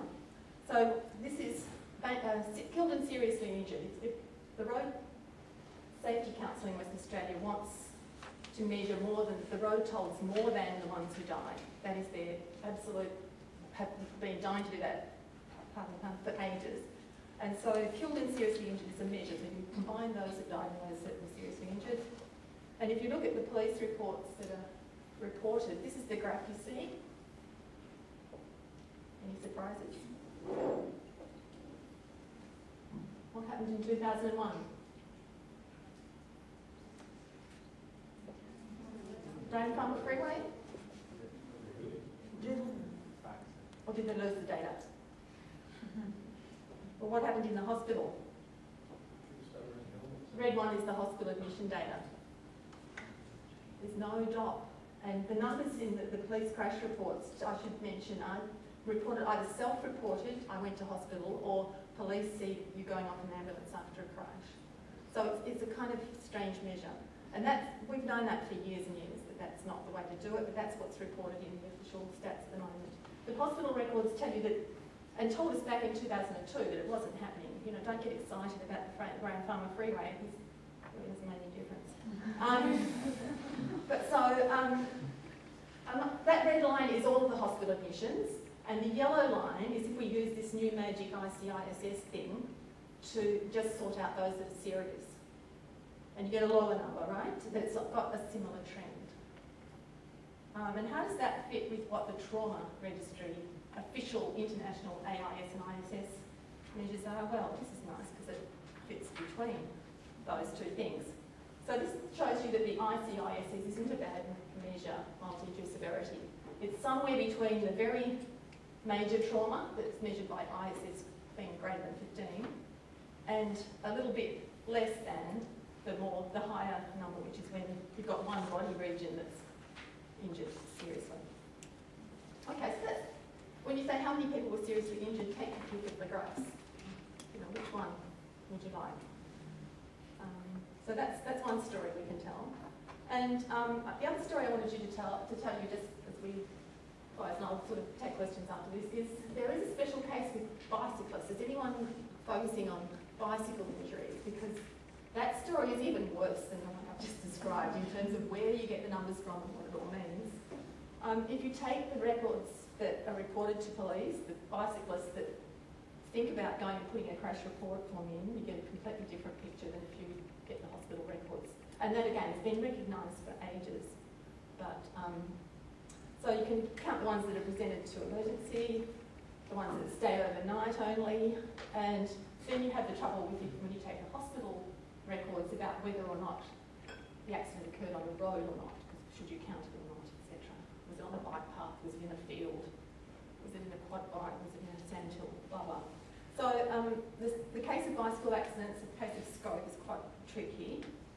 So here's some more numbers, just hot off the press this week.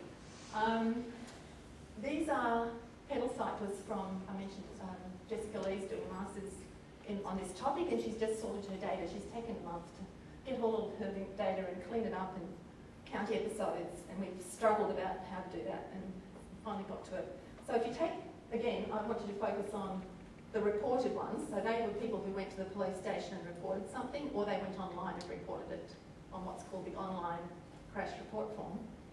So if you again look at the year 2006, the first column, the third row, the police said in 2006 42 cyclists were admitted to hospital. Uh, not a problem, we shouldn't do anything about that, let's focus on cars. Um, and then if you look at the hospital data though, same column, third row down, already taken into account that they have to be defined to be traffic accidents, which means someone said it happened on a road, and you've collapsed already all of the hospital events that related to the same things, you're not double counting, get 402, a different sort of problem, right? It's, much, it's 10 times the size. So if we didn't have linked data, we wouldn't be able to really tell you that story. But you can see that the number of cyclists, if you look at the hospital data, is increasing, the number of injured cyclists, and the number of they're still they're increasing if you look at the police reports too, but completely different picture. So I don't want to labour the point, I just wanted to show you that the stats depend very much on how you define things, they depend very much on how you frame your question. Someone else is going to do the analysis for you. The question you ask is very important. So I just wanted to leave you with some of those question marks. Um, and I can't go any further with that data because we haven't done it yet. We're about to do it next week. And um, that's where I thought I'd stop and you can ask me questions. And I will take questions on data linkage in general, but if you want to look up our website, that's it under there.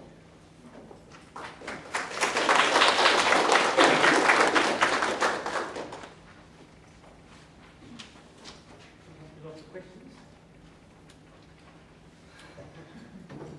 I've left you flabbergasted. I think the question that is points you make about the accuracy is then what's, what's the truth with the data? It's something which is a challenge because people use it to make decisions and um, speculate about things and what's flawed at the outset. You know, where you go with that. Yeah, I don't know how many briefing notes I've written about that cyclist numbering thing over the last 20 years. it's well known, you know, until we get a new person in the job, etc. But there's, what do you do to solve it? You know, you can't make a cyclist who's injured, you know, sit in and type. Should they report more or what? Can't scare you off. No, you can have that back. I can talk about it anyway. Is there anything else you wanted to ask? Yeah? Just out of a purely curi- curious question, how long does it take to create one of those triangles, the injury triangle? Because when you talk, you make it sound so easy, how the data comes together. On a practical level, how long does it actually take to put one of those together? When you've got your data in front of you, all linked up, all cleaned up, with all the right numbers, got all the permissions, someone's delivered it to your desktop, you can do that in half a day. But the time to get approval to get all that together, months. The time to get the data onto your desktop, months. But once you've got it, you can churn that out. I think that's fair, fair comment. Those in epidemiology, um, I'm not telling you anything new. Mark. Thank you. Sorry, I just Oh, thank you. Thank you.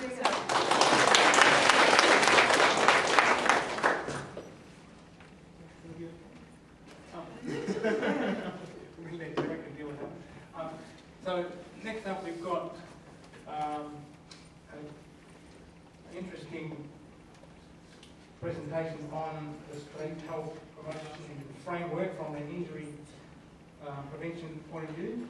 And I think it's a great way to finish off the day to where we'll see how our data has been turned into policy. Um, so we've got Erica Davidson, who's the Principal Policy Officer for the Chronic Disease Prevention Director Public Health Division. It's going fantastic. Hi, my name is Erica. Um, I'm your lucky last person, and I'm not going to take a huge time, so that's all good as well. Um, feel free to stand up just for a second, because you have been sitting for an hour or so. Really quick, just take a breath, work those knees, and we'll be back again for our last 10 minutes or so, 15 minutes from me. Yay. So I'm not an epidemiologist, I'm not from the epi branch, and I don't know much about data linkage. But I, I need epi work and I need data linkage to be the basis of the work that I do. So I'm from the um, injury policy team at the Department of Health. So work very closely with Hello? Oh, hello. Sorry, this is Katani. You possibly move the camera? I'm seeing the back of somebody's head. It's wonderful. Hi, Katani. Sorry. Hi. Thanks. So we're going to just talk about how um, important epidemiology is to policy work and how it actually translates for the Department of Health in how we make decisions about investing money and um, moving with programs that we run. So if we don't have the epi branch, we can't ride, we can't move forward, we're going to go round in circles. So the role of the injury prevention team, and I'll just quickly introduce you to Russ Milner as well, also is part of the fantastic team. Um, the role of our team is to provide strategic direction for the Department of Health regarding policy and purchasing of injury prevention health promotion programs. So we um, need to be able to, to determine injury priority areas in accordance with uh, population morbidity and mortality and injury risk. And so to make informed decisions, we use the expertise and the grace of the epidemiology branch and to examine injury trends. And so they help us get from where we need to, where we need to go. So how do we know how to invest Department of Health money? How do we know where um, programs are needed? How do we know what's important to the WA community? So the EPI branch data is fundamental to the direction of WA Health injury policy, and without that data, we won't know what does matter and what evidence there is for the greatest need. So there's just a couple of stats that I've taken out of what, for me, is the Injury Prevention Bible. The document there, the epidemiology of injury in WA, really um, has been a backbone for determining policy direction for the Department of Health in injury. And so, for example, from that document, in WA we know that injury ranks fourth as a cause of death, fourth, fourth as a specific cause of hospitalisation, second as a cause of uh, potential years of life lost, and fifth as a cause of disease burden. In, though, in specific age groups, So where, where we will invest money for health promotion programs, what age group is at greatest need? The leading causes of injury, hospitalisations and mortality, you can see there hospitalisations first. So for those particular age groups, 0 to 4, falls is the greatest cause of hospitalisation for kids, as is for the, all of them up to 14 years. Then as we get a bit older, uh, teenagers, uh, transport is the leading cause of hospitalisation, and then we go back to falls, and falls again up into the older ages. And we did see earlier that females um, are stronger in that 65 years of age for falls, but males are predominantly greater in all other areas. Looking at cause of death, for, that, for our little ones, drowning is still the leading cause of death. Then we have transport, and then suicide as we go um, up the years, and back to falls as the leading cause of death. So that information directly um, influences the decisions that the injury policy team make.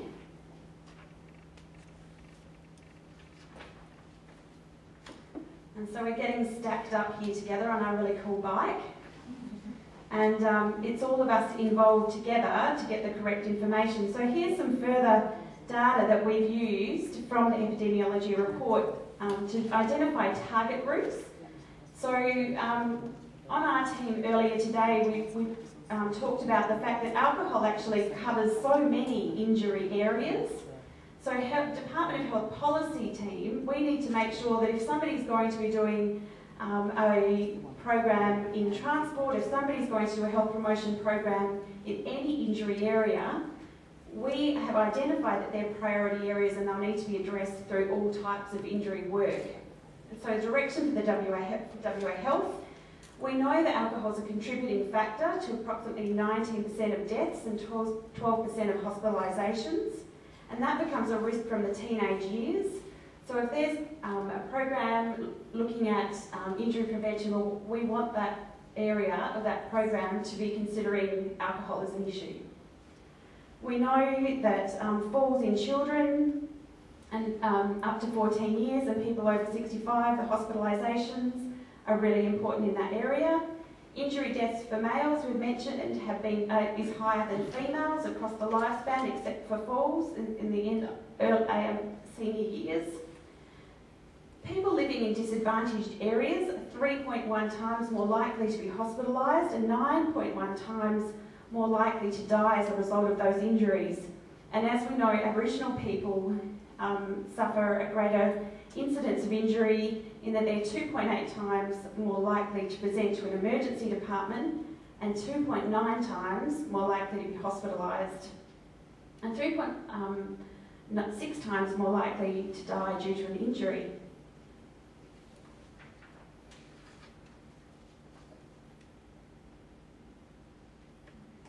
So this is the bike that I would ride. He would take photos of my desk because there's so much pink on my desk at work, so I like this one. Um, the data that the Department of Health receives influences our policy direction for purchasing services. Now, the Department of Health Injury Policy Team outsource health promotion programs so we work with non-government organisations who then themselves utilise the EPI branch to personalise data their, to their particular area of um, interest. So, for example, KidSafe WA and Royal Life Saving Society, they themselves as NGOs, who are funded by the policy team at the Department of Health, work with the EPI branch to get data that's specific to the areas that they work on. So, for example, Royal Life Saving Society run a program called Don't Drink and Drown, uh, Don't Drink and Drown, and so they would work with the, the EPI branch to make sure they've got the correct stats around teenage drinking and um, young adult drinking. KidSafe do really important um, uh, EPI information around um, the stats around children's uh, injury areas. And so they would be able to tell us that um, children suffer injuries in the home much more than outside of the home. Now they've done, they've worked that out because they worked with the EPI branch to find that.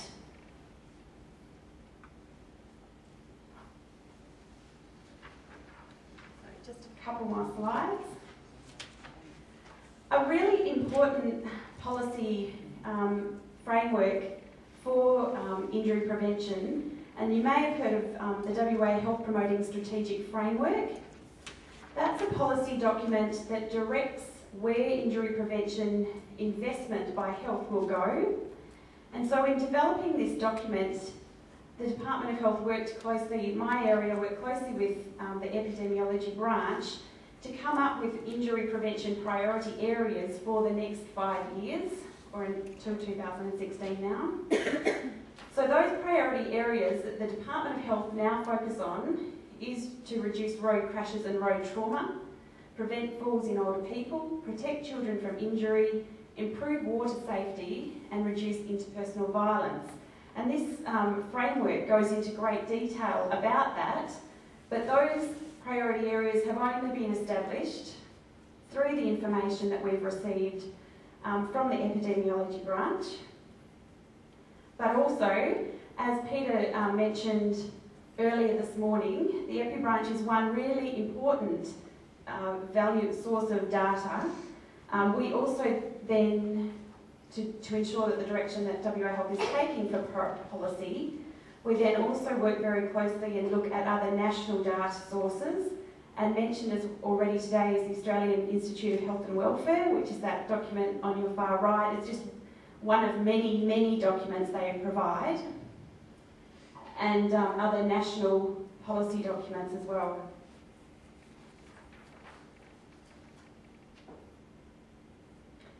So my, my little talk was very quick, just to show you how in the policy side of things, EPI actually does provide such a lot of influence and that we really couldn't make the decisions around investing health money without um, the data that we get from the EPI branch and certainly through data linkage in the um, research projects that we undertake. And so rather than riding a bike with Dora and Boots, we'll be on these super modern, super fast track to good knowledge.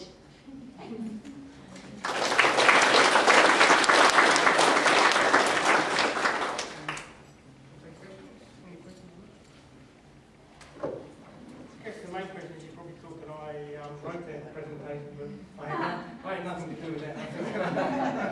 totally independently done. Thanks very much.